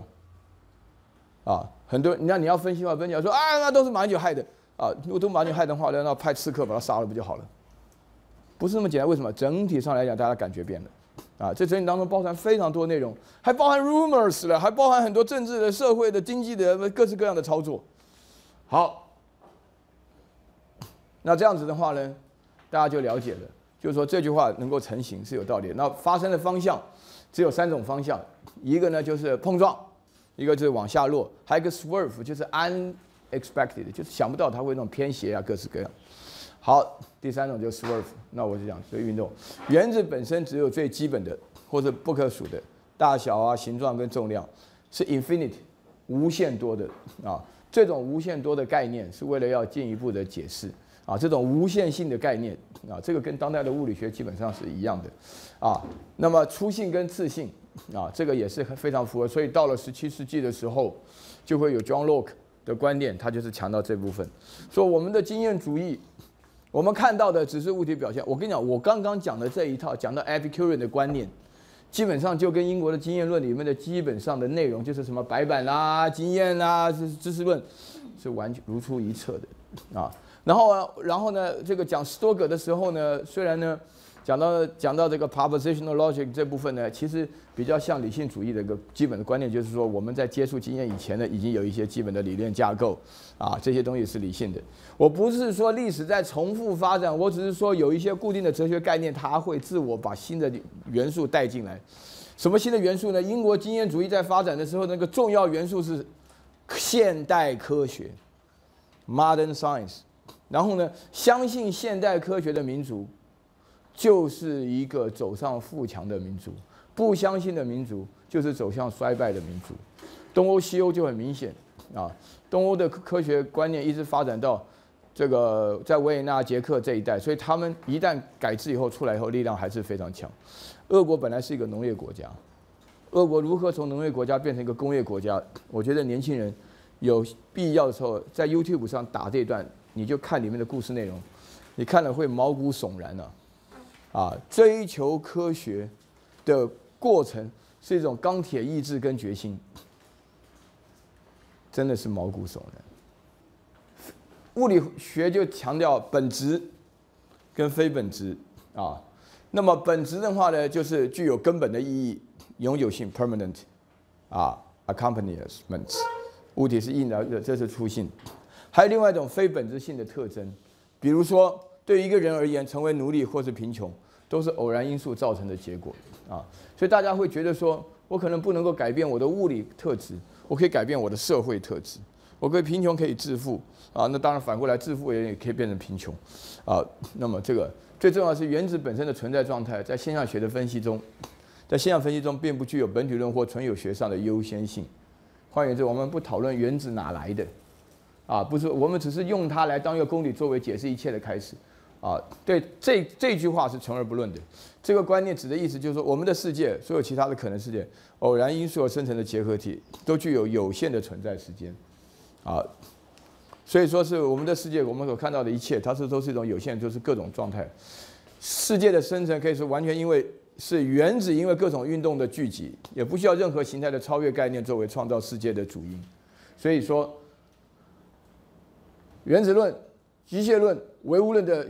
结果，对于欧洲人来讲很重要，就是无神论，啊，就是否定了上帝的存在，否定了上帝的存在，啊，对我们今天来讲的话呢，我我这个西洋哲学史课遇到最大的挑战，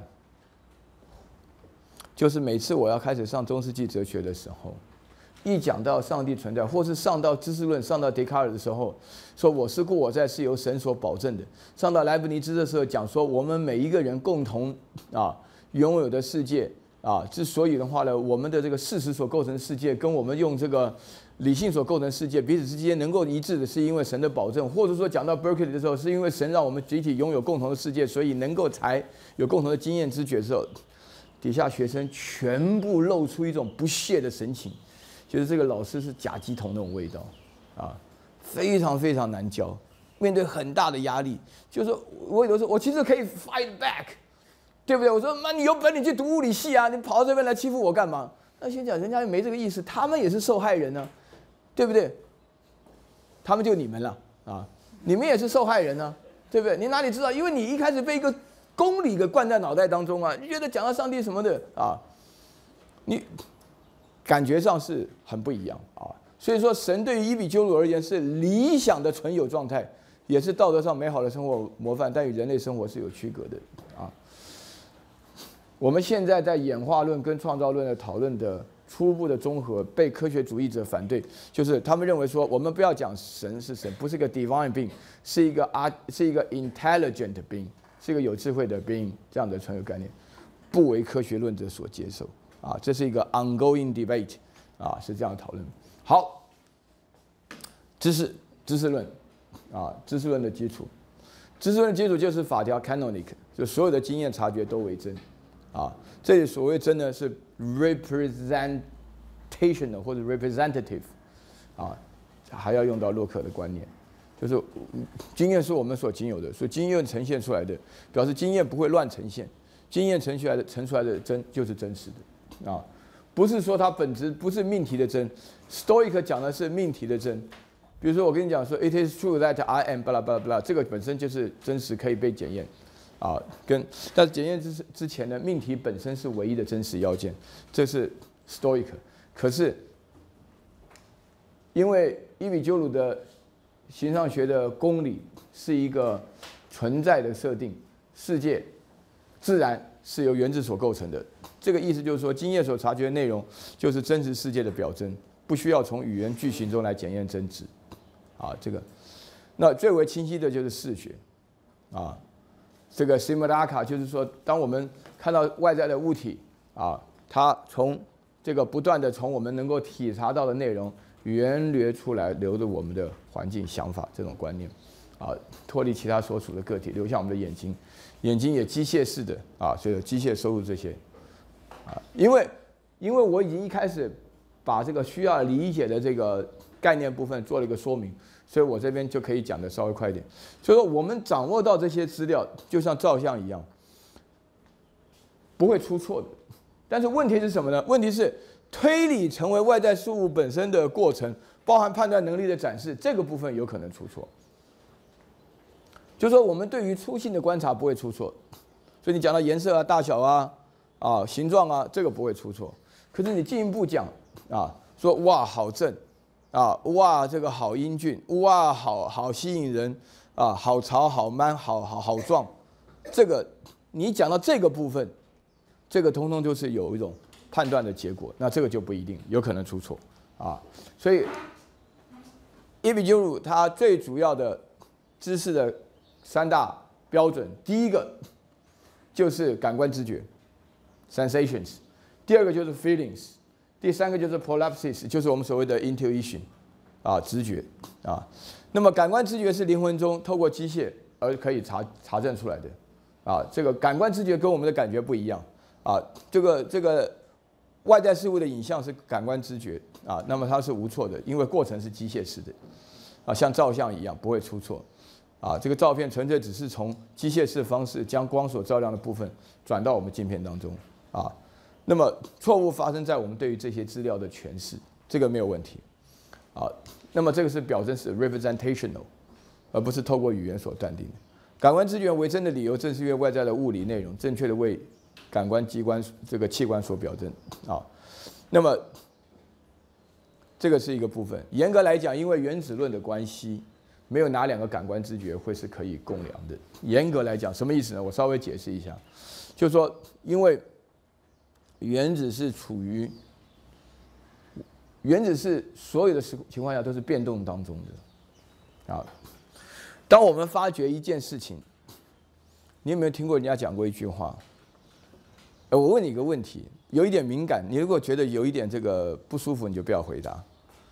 啊，问问你们两个好了，啊，我问大家哈，呃，这个我现在已经快，我已经到了要年纪够大了，可以问这个问题了。就是我问你啊，不管你有没有谈过恋爱，不管你有没有谈过恋爱，我们在座的大部分人都有，因为大家都很早熟。不管你有没有谈恋爱，请问你哈，谈恋爱是谈恋爱啊这个概念，让我们用一个 corporealism 就个体化概念想。谈恋爱这件事情是，你在恋爱的过程中才发现你已经恋爱了，还是你清楚的知道你现在还没有恋爱，还是已经恋爱了？是哪一种？应该是不清楚，可能要当下经验才会感觉得到。我的问题清不清楚？我再问一遍，啊，请问你，因为谈恋爱对我们来讲是人生最重要的大事，对不对？因为我们 we would die for it，啊，胜胜过于为国家作战，啊，对对不对？所以这很重要。啊，人家爱国，现在没有人爱国，叫做爱人。谈恋爱很重要，很具体，这样说，他就恋爱重不重要？重要。所以你们讲说，哇，我谈恋爱不重要，人就是辅导到蔡老师那边上课，准备出家了。啊，这这个基本上，啊，这这个这个也这个这个也有道理，也有道理，因为这个对我对我们一般一一一般理解，一般理解，没有没有特别任何歧视问。所以这件事情很重要。请问你谈恋爱这一件事情，通常来讲。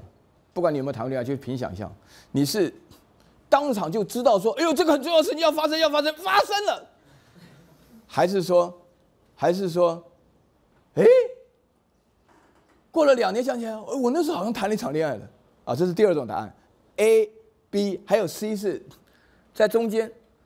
哎，奇怪了，我怎么晚上也梦到这个人，然后白天也想这个人，然后就突然都不饿了，然后突然，啊，没有吃饭反而变胖了，什么？哎，这个现象啊，然后就找人一问，人家说，对不起，你谈恋爱了你，啊，是哪一种？是 A 还是 B 还是 C？C？C，你觉得是 A 还是 B 还是 C？我觉得绝对不是 B 就对，就是 A 或者 C，因为 A 跟 C 我感觉有点像。A 是什么？A 是感觉到它很明显存在哦。A 跟 C 完全不一样呢。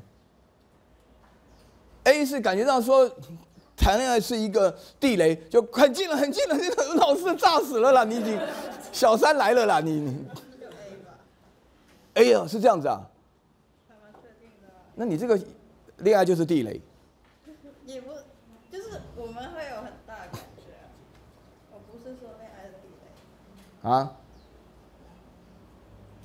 相敬如宾，你有没有什么？你觉得是 A 还是 B 还是 C？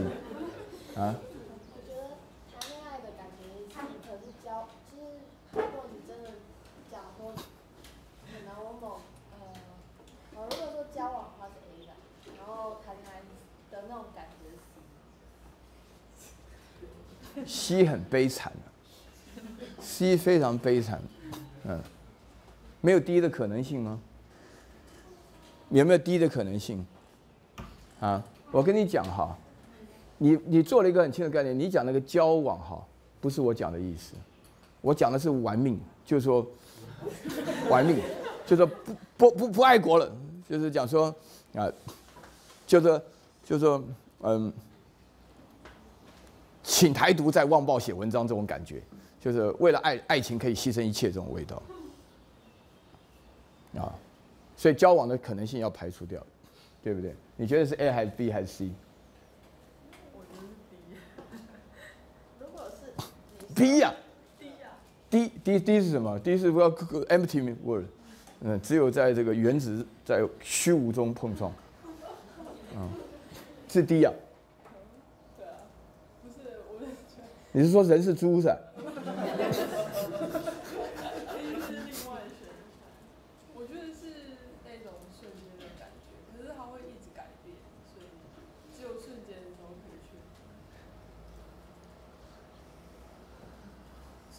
你讲的很臭。你那个是你那是对你男朋友讲的话，你不能拿对我们讲，啊，我们在理性思考，啊，我跟你讲啊，我跟你讲，为什么这个？因为其实啊，你刚刚讲到，来，来来来，心理学机械论再分析一下啊。对心理学来讲，你看这是 A 还是 B 还是 C 啊？我跟你讲，你们心理学要常常到我们现在上课，免得失去人性啊。然后呢，第一啊，感情的因素在虚无中碰撞啊，无时无刻的碰撞当中，就像他讲的一样，如果是啊，对，接近他，对吧？好，那人生没趣啊，对不对？就说就说一回头想起，当时我的碰撞的因素啊，一直没停止过，而我浑然不觉啊，就这样，这个嘛，这个你要不能让你的 partner 听到，你知道吗？他觉得他跟机器人谈恋爱了，早知道他就拿着遥控器就继续谈恋爱了。好，A 还是 B 还是 C？我觉得答案是都有啦，都有。我跟你讲，尤其是 A 最神奇了。呃，A 最神奇，因为我们那个时代很保守。我跟你讲，不保守是没有办法谈恋爱的啦，懂吗？因为这个恋爱这个东西是人最后一道神秘的防线了，应该是感觉上的 love so right，这个不是很好理解的，对不对？我跟你讲，我们那个时代很多人呢，很害羞，彼此不敢表白。后来到了在美国功成名就了，啊，在纽我千真万确，我东海同学的故事，在纽约中央公园一见面，你不是？对呀，你，我一定要告诉你。我其实，在大学暗恋你四年，那女的讲你不早讲，我也暗恋你四年。好，我要强调的重点是，所有的人的最珍惜的感觉，我们是用语言方式把它讲成一个个体，叫做谈恋爱。其实没有这个东西。有的时候你不知道。哦，对我刚刚的故事没讲完，就是那个女的讲说，那真的，然后那男的进一个箭步往前说，那你在你美国做什么？真的陷入思想当中的突然。汤姆跟杰克回来讲说：“妈妈，哥哥抢我球，一看，儿女成群了，啊，感觉很遗憾。这是 A 了，A 了，就是事后事后才发觉，事后才发觉，这真的有这种事情，啊，我只要证明说，伊比鸠鲁一个观念很对，就是说我们的情感的状态是无时无刻，啊，都是在变动当中的，啊，这个就是说，只是我们什么呢？我们用语言一直在欺骗我们，你不是用语言欺骗别人，是在欺骗你自己，就是说，哎我。我跟你讲，当你问说：“哎，我还是不是还在？我我还爱不爱他的时候，这个已经结束了。”啊，语言总是比情感慢一些，对不对？因为你想想看，你总是要思考说我现在的感觉是什么嘛，对不对？所以说那个情感早就过去了。比如说你写说说你写说，呃，三月二十七号说最棒的一刻，写完又讲说，写到最后你讲说，其实好像蛮空洞的。对不对？那就是表示你的思想的内容一直是比你的语言走得快嘛？啊，A B 就是讲的意思就是这样子啊。所以说没有哪一种感官知觉是可以供养。比如说我们现在啊，你拿你自己的感觉，你就可以发觉说整个过程中啊是整个持续的嘛。啊，严格来讲，每一天都不一样了啊，每天啊，否则的话它不会出现一个极度的转变嘛。这也是解释了我们内心的世界啊。所以呢，第二种知识是直觉，也也。也解释了一个很重要的观念啊。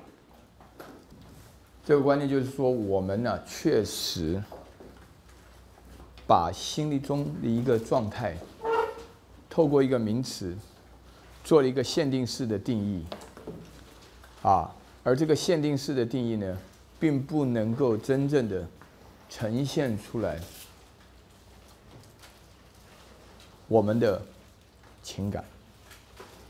那么。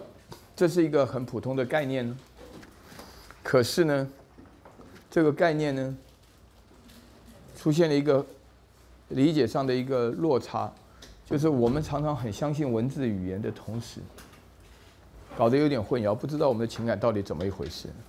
答案很简单，至少 Epicurian 在这个问题上提供了一个答案，就是我们的情感一直是粒子碰撞的结果，所以没有两种状态是一模一样的，因为粒子一直碰撞。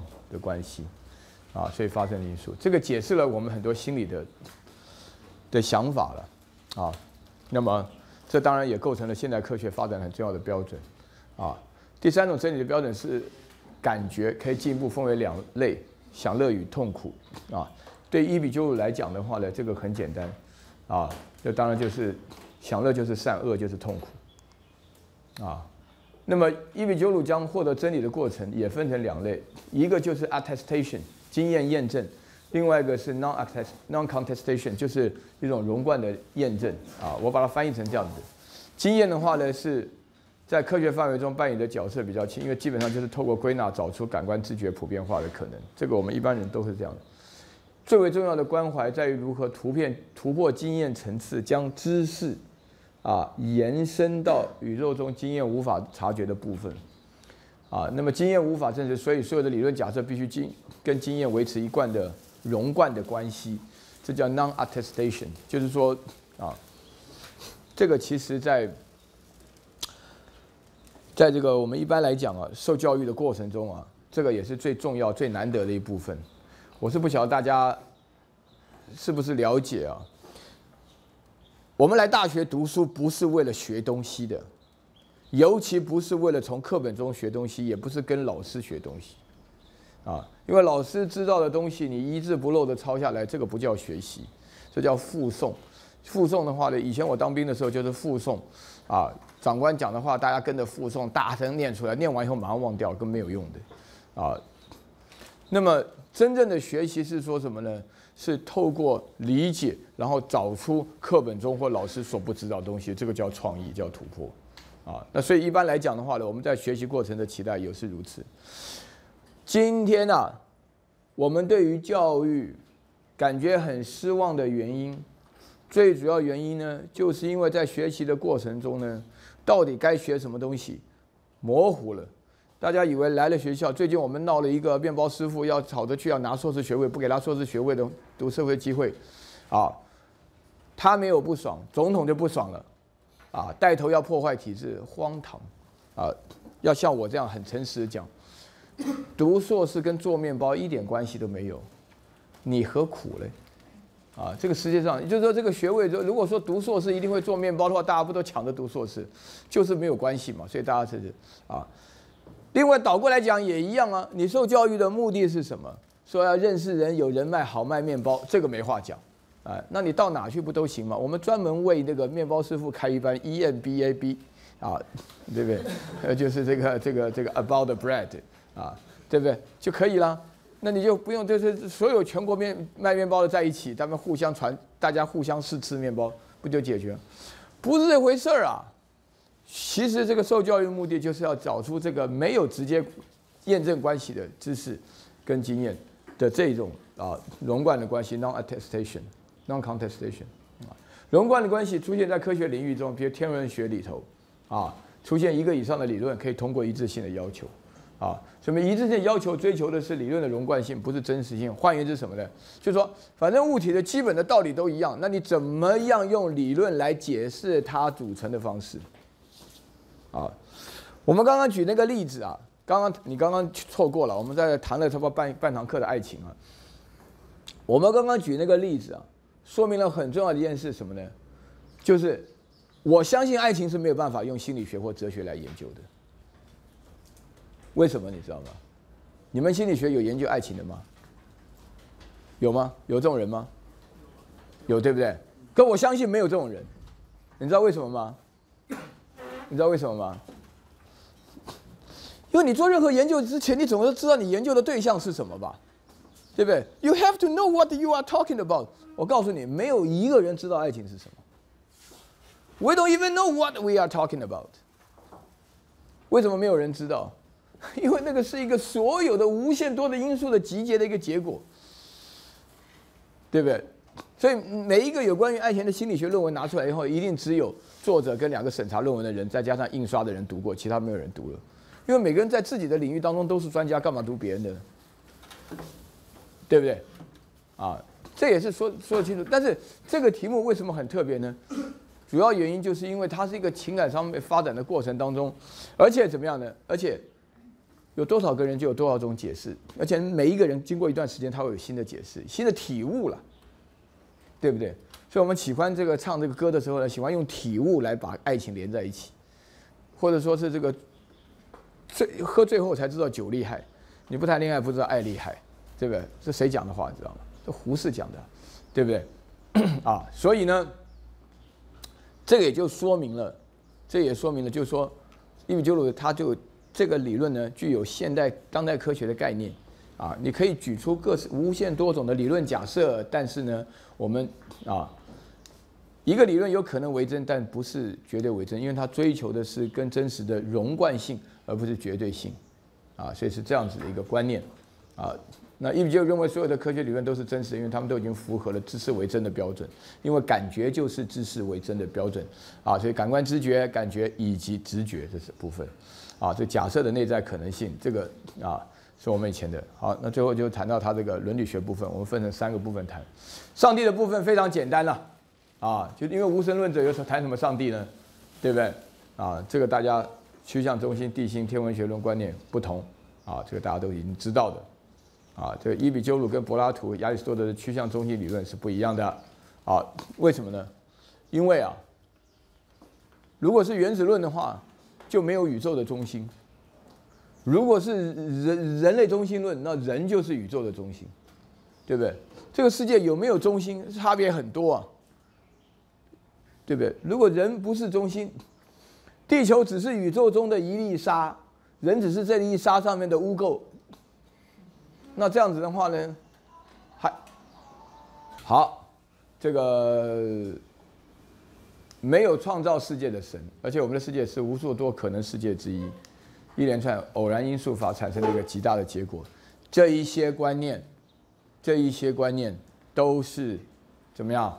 这些观念都是跟现代当代物理学是很像的啊，这我们讲的只是单纯的一个从公理上所推论结果啊。任何创造论的观念都可以经由机械式的发展，透过偶然的力量极大的范围内来解释啊。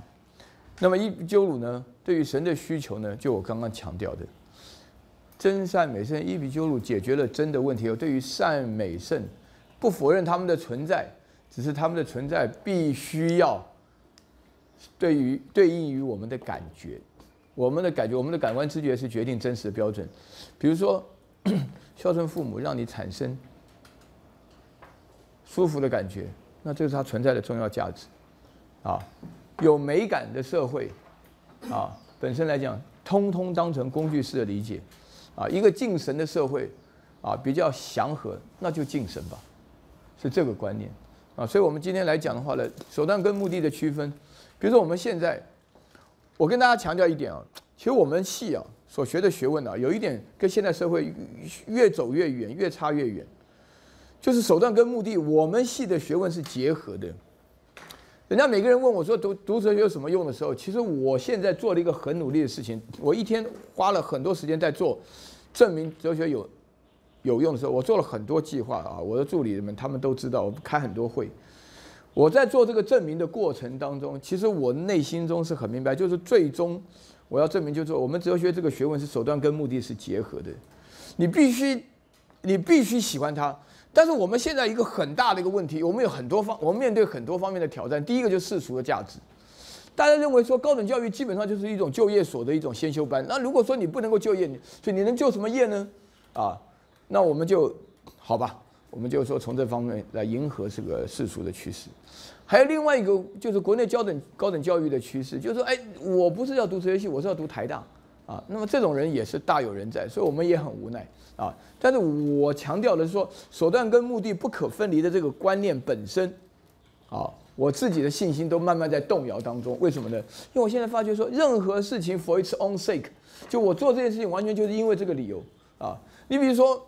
我自己有小孩，我刚跟大家聊到爱情的问题。我我我最近我跟我太太就是常常在讲到这个问题的时候，我太太说要要人品要端正啦，啊，那么最好是人面人心啊，啊，那么这个然后呢，就是这这这这是小孩彼此之间的事情啊，对不对？那我太太讲说环境要不错了，啊，就要就是考到外在条件。那其实我以前每次我对第三个条件呢，因为我是一个无可救药的理想主义者，啊。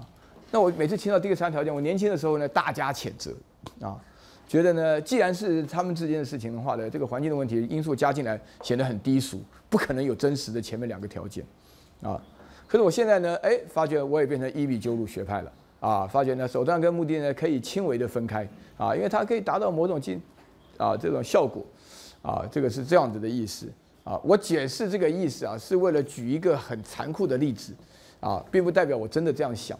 啊，我这但是我不能拿任何人做例子，所以我只好拿自己做例子。好，那么神只是一个快乐生命的理想化境界啊，那这大家都很好理解。第二个黑豆一阵享乐主义，这个是伊比鸠鲁被人诟病很深的地方啊，就是你追求快乐啊什么的。Epicureans，我们到现在都可以骂人啊，一个只知道礼拜六、礼拜天跑夜店的人，礼拜一到礼拜五都在睡觉的人，我们叫做就是一个 Epicureans 啊，就只有那种肉欲上的快感，其他没有任何真实的意义啊，这样子的情况啊，这个是一个 Epicurean，其实是很大的错误啊。那么快乐是人生的目标，痛苦都是坏的，所以这叫 hedonism 啊，我们不叫它 epicureanism 啊。但是呢，如果我们采用简朴的生活，只要满足，所以这个采菊东篱下，悠然见南山呢。如果你这个人欲望很低的话呢，你就很容易快乐，对不对？啊，那么这个呃，所以说呢，心灵上的快乐可以弥补身体上的快乐，最高层次的快乐。啊，不管是心灵的还是身体的呢，都是一个令人满意的结果，也就是静止的快乐啊，就死了最好的那种感觉啊，就是这样。所以说，强调是心灵的，人基本上呢，存在就是为了最小化痛苦啊，那么极大化快乐跟极小化痛苦都是这个原则啊。那么以简朴为达到快乐，灵魂需要研究物理学，因为物理学提供静止的状态啊，没有害怕于死亡，死亡不受任何干扰。我我我我强调啊，这个我们班上有数学系的学生啊。这个很多人会觉得说，如果你有本领赚大钱，你为什么不去赚大钱？啊，这个理论呢，对我们来讲好像成立。可是因为我在这个研究计划当中牵涉到有学科学的啦、学医学的啦、学这个学电的啦、学物理的，哎，台大有很多老师啊，哎，我真的，我最近发觉啊，台大这个学校真的太伟大了。台大这个学生社会主义信徒居多，老师啊。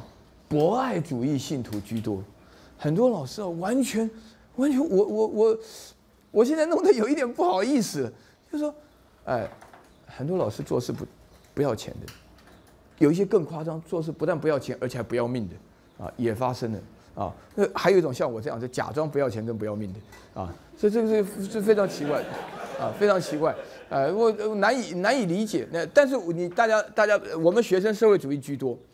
我们学生看样子惨了啊！学校在弥漫的学生彼此之间，大部分冷感了，激动的社会主义居多。我们学生里头，我很少看到学生穿着西装笔挺的，立志做财经人士，已经管院都很少看到，不多见。大家都低调，也觉得说不符合潮流。但是老师本身的精神啊，觉得这个是非常非常的特别啊，有一点这个呃，atalaxia 啊，atalaxia 就是就是没有不受价值啊，axia 就是希腊文的价值的意思。Ataraxia 啊，taraxia 就是加上 a 就是否定，不受价值影响，不受任何价值影响啊。那么这个呃，物理学者也告诉我们，反对令人成为命定论者的决定论啊。因为什么呢？这倒是很有趣。斯多葛学派呢，还要费大费周章来反对这个决定论。伊比鸠鲁因为有 swerve 的概念，所以呢，他先排除了决定论。就我们不必讨论的问题，我们人就自由的啊。好，那么如何规划与规定追求最大快乐的原则与方法，成为伊比鸠鲁学派追求理想人生的关键因素啊。身体的感觉因而成为关键，无论是心灵的快乐和痛苦，追究最终都是与有关身体的满足或不满意。好，那么心灵的感觉是最重要的一部分啊，请大家稍微就无痛状态啊，这个 abonia 啊，painless 就这个。啊，就是 tranquility，就 ataraxia，啊，好，那么宁静啊，来自了解宇宙啊，宇宙的本质啊，是宁静的这些观念，是我们这个啊，可以大家进一步了解的部分啊。我现在呢，在介绍这个伊比鸠鲁这个呃伦理学的时候呢，是延续着他们的物理学，就是整个自然是我们建构的，就是原子在自然中碰撞。然后他的知识论就是我们的感官知觉、我们的感觉以及我们的直觉三种构成的知识是否为真的标准。除此之外，没有任何其他可以诉求的工具。那在这种情况下建构出来的伦理学啊，当然很自然的，因为你相信感官知觉。那么人的本质上啊，当然就是要避免痛苦啊，追求快乐。这个道理就在如此。所以我可以让大家了解的稍微快一点啊，就是连自然的欲望都不见得是必须的。比如说进食是必须的，但山珍海味不是必须的。这些我们一般人在养生上的观念都会存在的啊。我跟大家要强调一个观念哦，就说我经常哦，我现在其实国会做的计划也在做这个计划，就是我们做的对的自然呢，一个是建构的，一个是顺应的。可是我们从来就没有想到第三种，就是自然被我们无限制使用的。所以，我们我其实在想啊，我其实在想，这个礼拜六、礼拜天呢，科技与社会这个学会在我们系馆开会，STS，我是负责评论核能有关于核能是否适当的这个文章。我评论的一开始我讲的第一句话就是，大家都反对核能，但是我们今天这个屋子在开冷气。啊，我要讲的意思就是说，很多人，很多人，啊，心口不一致。为什么心口不一致呢？就是他直觉式的反映出来我们对自然的概念。我们对自然的概念中，大家可以没有话讲的接受顺应自然还是建构自然没有问题。可是说无止境的宰制自然这一个观念，这个观念是有历史传统，可是大家听起来觉得不好听。为什么？因为它是。我跟大家强调，这个观念无止境的宰制自然，是基督教的观念，是 Thanksgiving 的概念，是美国人开发北美洲的概念的这个概念，是让美国人在那种天寒地冻的北美洲能够活下来的理由，在现代的环境当中，突然之间被变成谴责的对象，你找不出任何理，但这个这个有传统，所以我们其实古代哲学是有三种传统。一种是斯多葛式的，一种是伊比鸠鲁式的，一种是现后来是基督教式的。在发展的过程当中，很多人忽略了很多忽略关系。为什么？他们彼此之间有相似的，有不相似的。啊！但是历史的传统是我们读哲学史最大的帮助，告诉我们任何事情的发展以前都有前机可循。我们今天的想法观念并不是 unprecedented，并不是这个前所未见的。这观念在此啊。好，那么。如果在这种情况啊，那么这个我们要讲到这个伊比鸠鲁的这个黑斗一整的话呢，就是要谈到他的这个友谊的价值，就正义跟社会。这个伊比鸠鲁学派呢非常特殊的一点啊，这个还我自己正在理解，就是说正义并不是很重要，最重要的是同伴之间啊，就是说同伴之间的话呢，对他来讲的话是特别重要，因为有这个有一个重要的原因，就伊比鸠鲁是一个离群所居的，是一个出世的组织的，是一个单独聚集在一起的啊。感觉上的话呢，有一点那种兼爱非攻墨家的思想，他们成成立自己的，就跟别人与世隔离的这样的一个生活方式。所以正义来讲的话呢，不太重要，因为什么呢？因为正义就牵涉到大家彼此遵循共同的规则，啊，那么这个正义的重要性呢？所以相信正义的重要性，这是苏博雅传统下来的正义。可是，一般来讲的话，相信友谊的重要性呢，比较像是墨家帮派的想法，四海啊、竹联啊这个观念啊。但是伊比鸠鲁话的相信主要，所以我们整个社会中对于友谊这个问题的看法，尤其是在我们自己的社会，其实评价并不高，都会觉得说，对不对？保人就是人呆啦，啊，这个打虎要靠亲兄弟啦，啊，就没有什么样呢？就没有真正值得我们信赖的人，除了家庭的血缘以外，这是典型的斯多葛式的观念。可是伊比鸠鲁在这个问题就是跨越，他很像是啊，我我用墨家我不懂啦。但是我主要是强调，就是说那种兼爱非攻的思想，啊，基本上是强调了一种，那种离群所居，成为这种强调友谊。对于 friendship 的强调，亚里士多德的伦理学也是非常强调，尤其是 Nicomachean Ethics，啊，也有强调这部分，但是没有这么重要，超越了正义。所以这个斯多葛学派的话呢，是一个很重要的一个特特点啊。那么友谊是伊比鸠鲁哲学社群的共同基础，这是一个重要的观念，啊。正义的想法太太 philosophical，友谊的想法非常好理解，啊，有一份我我感觉得出来啊，这个呃，我们两辈之间呢，如果说我们三十三十年是一个 generation 的话呢，我们这个 generation 可能因为成长过程都不公不义，所以对正义很 care。那但是我们绝大多数人，因为我们所处的环境啊，是读了书后都出国的。而且很多人也没回来，所以对于这个 friendship 的概念呢，真的是接触的实在很少。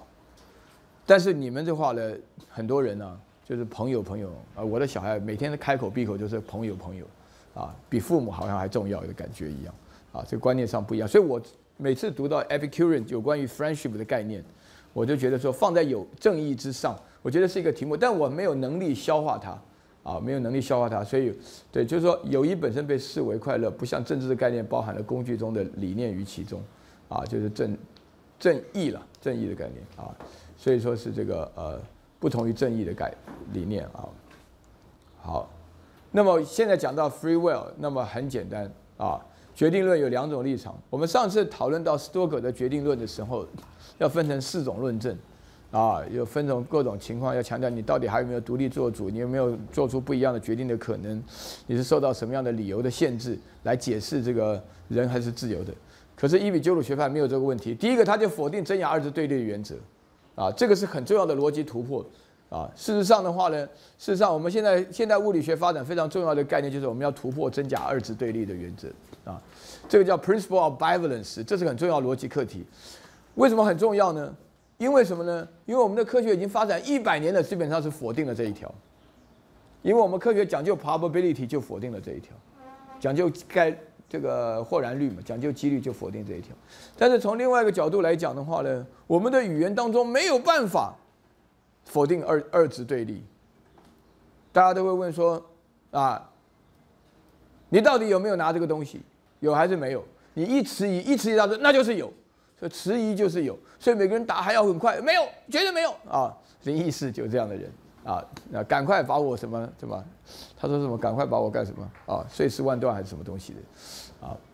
就是这样情况啊，所以说这是很重要的，因为如果没有这个的话呢，那就表示啊，这个命题为真的理由仅是因为原因在这个世界中处于运作状态，而且足以使事件发生，所以会发生，必然发生，这个是二值对立所出现的结果。啊，那么未必为真，否愿否定二元真值真假值原则可以沿用到未来命题，它就是否认这个观点。第二种的话就是 swerve 的碰撞的关系啊，它也是否定了这个观念啊，所以呢，这个角度来讲啊，人就是自由的，因为是没有，因为我们人的状态，我们人的情感的状态也是原子重重新碰撞聚合的结果啊，是这样的感觉。在物理学的领域当中，尤比达达人认为原子运动原则并不必然是决定论的，所以说啊，swerve 是一个重要理由。问题是最后一个问题啊，我们有关 EB 就是这个问题，就是说 swerve 跟自由意志之间的关系是怎么连在一起的？这是个大问题。为什么呢？因为自由意志感觉是非常唯心的 idealistic，但 swerve 的话呢是一种物理状态的一种假设。这种物理状态假设并不足以说明我们到底啊要把它们怎么样把两个结在结在解释在一起。我们只能够说非决定论的偏斜是最能够展现非决定论的方式，而间接的显示了自由意志的重要性啊。那么也从这个角度可以看得出来呢，死亡是没有意义的，也不用害怕啊，因为呢我们对于死亡意义呢是来自于一种不存在的恐惧，这种不存在恐惧呢没有理由害怕它，因为我们等于是回到不存在以前。啊，那么这种感觉都是很荒唐的。好，所以说呢，对于这个死亡呢，因为所以说伊比鸠鲁学派呢，作为一个原子论者，是一个机械论啊，是一个唯物论，是一个无神论对死亡的态度。唯一的事情就是，我们作为有限的存存有者，就只能知道生命中的乐趣。啊，这个观点，这个观点，我相信啊，在座都是年轻人，大概就是这个观点，班上应该没有人会反对的。啊，所以我们这个伊比鸠鲁学派呢，就用一个很激烈的立场作为结论啊。那那个我在这个换投影片的过程中啊，看看同学们有没有什么问题啊。来，志开，啊，请说。我问一下，就是伊比鸠鲁他的世界观是，就是原子论式的世界观吗？那他会觉得就是粒子会有，就是就是用罗素的话是 absolute sense，然后 down 这样子。它是用用一种绝绝对的向下运动，然后跟滑移就是 swerve，然后跟那个碰撞。滑，对对，滑移不是不是，滑移不是下滑碰撞，滑移是一种偏斜，就是完全不可预料的。对，是它一般来讲它是会向下的嘛，然后随机的它会有偏斜的现象。对。可是我想问的是，它这种绝对的向下，是不是就代表它预测这个宇宙是有绝对的方向性的？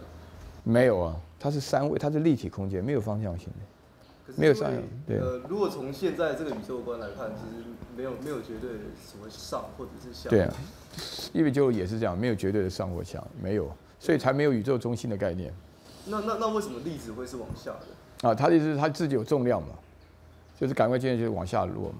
它是假设它是这样移动的，移动、碰撞，还有就包含所有运动的可能性，还有 swerve。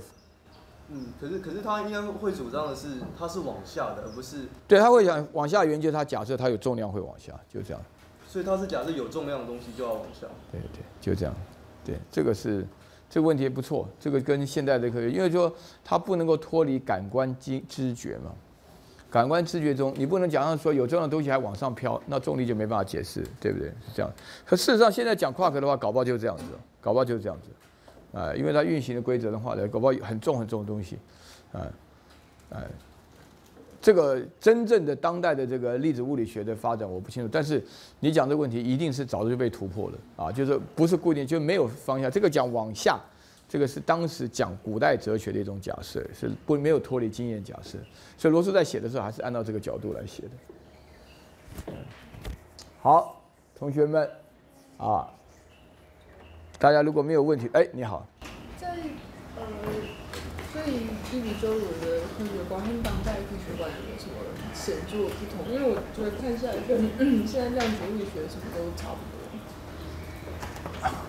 有三点非常不同啊，大家不要搞错了，因为常 commonsensically speaking 好像很接近啊，有三点非常不同。第一个，志凯刚刚提出来的，就是说他的科学观还是建立在我们的感官知觉上，现在的科学观已经完全脱离了我们感官知觉了，对不对？啊，这是第一点。第二点的话呢，我们现代科学的一个最大的特征，我不晓得为什么，但这是胡塞尔讲的。啊，而且也很有道理，就是数学化 （mathematization） 数学化的过程，这个那个时候是完全不能想象。数学化的过程证实了我们的常识观中的绝大部分是真的，但是数学化大幅度的提升了我们科学能够解释的范围，超越了我们的自然语言。啊，所以伊比鸠鲁这边内容的话呢是没有超越我们自然语言，是是用自然语言所描述的，所以你听得懂。所以如果说如果说有如果要做科普的工作，交给物理系人，物理系人没办法做，为什么？他已经没有自然语言了，他怎么描述科学的内容？你了解吗？所以不是说台电请了一群笨蛋啊，台电不是说请了一群笨蛋，然后对于核能的立场都说不清楚，因为核能本身来讲，运用的物理学已经没有办法用自然语言表达了啊。比如说风险，没有一个学物理人敢讲说绝对没事，再加一个干字啊。那这个听起来是很贵，但是一讲完以后，所有的物理学家讲说这个人可以不是人，为什么？因为物理学中没有绝对的概念。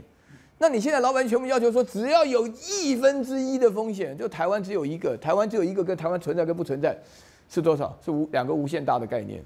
所以一般老百姓的话，有什么演艺人士啊跳出来啊，我是人，所以我反核啊，你因为你不是人，所以你不喊反核啊，这个逻辑上讲起来让人听得很难受啊，对不对？这是第二个问题，就是数学语言。然后第三个话呢，我觉得最重要的一个一个观念就是说，我们现代科学的发展已经是一个主流式的思维，而当时伊比鸠鲁的时代的这个科学观的发展是一个边缘化的思维，啊，大家要了解。我跟大家讲，这个就是涉及到一个人生的意义了。我看不起现在所有运动的学生，在台大校园，我根本都看不起。为什么？我觉得他们没创意，因为你现在拿一个主流化的思维站起来训训教育部长，你在我那个时代做做看，你在我那个有警备总部时代做做看，敢去训教育部长，你看你教教育部长，你看你什么下场，对不对？所以说，一个科学观在现在来讲，这科学观有它的伦理意涵，就它变成了一种主流宰制社会的思想。可是原来的伊比鸠鲁时代被人家视之为无稽之谈的时候，这个意义完全不一样啊！哎，所以说会现在的科学观怎么会强调友谊呢？现在强调是杀掉朋友，这是一对一枝独秀啊，哪来的友谊呢？那个时候科学观为什么会变成一种秘密的组织，会聚集在一起相濡以沫呢？啊，这个也是很重要的差别。所以科学本身跟伦理价值是脱不开的，但是要因时制宜，就是因为时间的情况而产生最适宜的判断。所以这三个差别，这样的话呢，算是一个蛮不错的结论，让大家了解到，啊，对不对？所以你现在的话呢，突然讲说啊，像我我一回来大，我第一次回到东海大学教书的时候，一个学生跟我讲说，老师现在学生好勇敢，都敢骂教官。我说教官就是刚刚在帮大家一起拔草那个连军服都不敢穿的人，那个叫那个叫勇敢啊。我那个时候我们一个教官，我到现在姓谢，挖人出身的。注册的时候手上拿一把剪刀。我们在东海大学跟全国只有两所大学不用剪头发，东海跟台大。啊，教官要提把剪刀，我那个头发啊长到，暑假因为头发长是一种自由的象征，我头发长到我手背过去可以抓一把，你看多长啊，就差不多像他这样。啊，那个就是完全不用管的啊！以前在大学在那个时代很荒谬了，因为有人管。我们的教官抓过去就是头发一刀，哎，那个叫教官呢，你知道那个时候要要反对他，那教官一下子就卷起来，哎，我不敬你过，我们单挑。他挖人出身，我突然打到骨头都断了。我跟你讲，呃，军人就是军人，那个时候真的是我，所以我我我我我非常痛恨那个不公不义的时代啊啊！因为头发对我来讲，我一个同学，抱歉，读我们附近的啊。就读冯甲的，他为了也要跟我们追求真源，追追求这种留法的尊严，他哦，他们教官后面就拿个剃子，更可怕是直接帮你理了剃掉。他为了抗议，把两边的鬓角留下来，在这边绑了一个结，看起来好像戴了一个帽子，因为那个刚好流行那个清朝剧，像那个燕太子丹一样，他这边绑了一个结，嗯，他这种发型我永生难忘。哎，所以你可以了解到，所以那个时候的真学自由意义相对性情况很不一样，所以这个科学的定义也是这样。今天你讲科学好，今天很少人去讲科学好坏，但是你一定要了解这个历史的原委，你才能够讲出来科技与社会的关系。你没有这个了解的话，你光讲说啊反核反核，反核以后呢？我跟大家讲啊，这不是我讲，江云话讲，说你要承担现有投资的风险，你要承担。电电力不足的风险，你要承担电力涨价的风险，你要承担经济停滞的风险，你要承担建构低碳社会不可能的风险，然后你再决定要不要公投合适。这是他就江宜桦讲的这个威胁论，威胁老百姓要不要被威胁？这个不是说不受威胁，回到赛德克巴莱的日子啊，大家该穿草鞋啊，那那我也。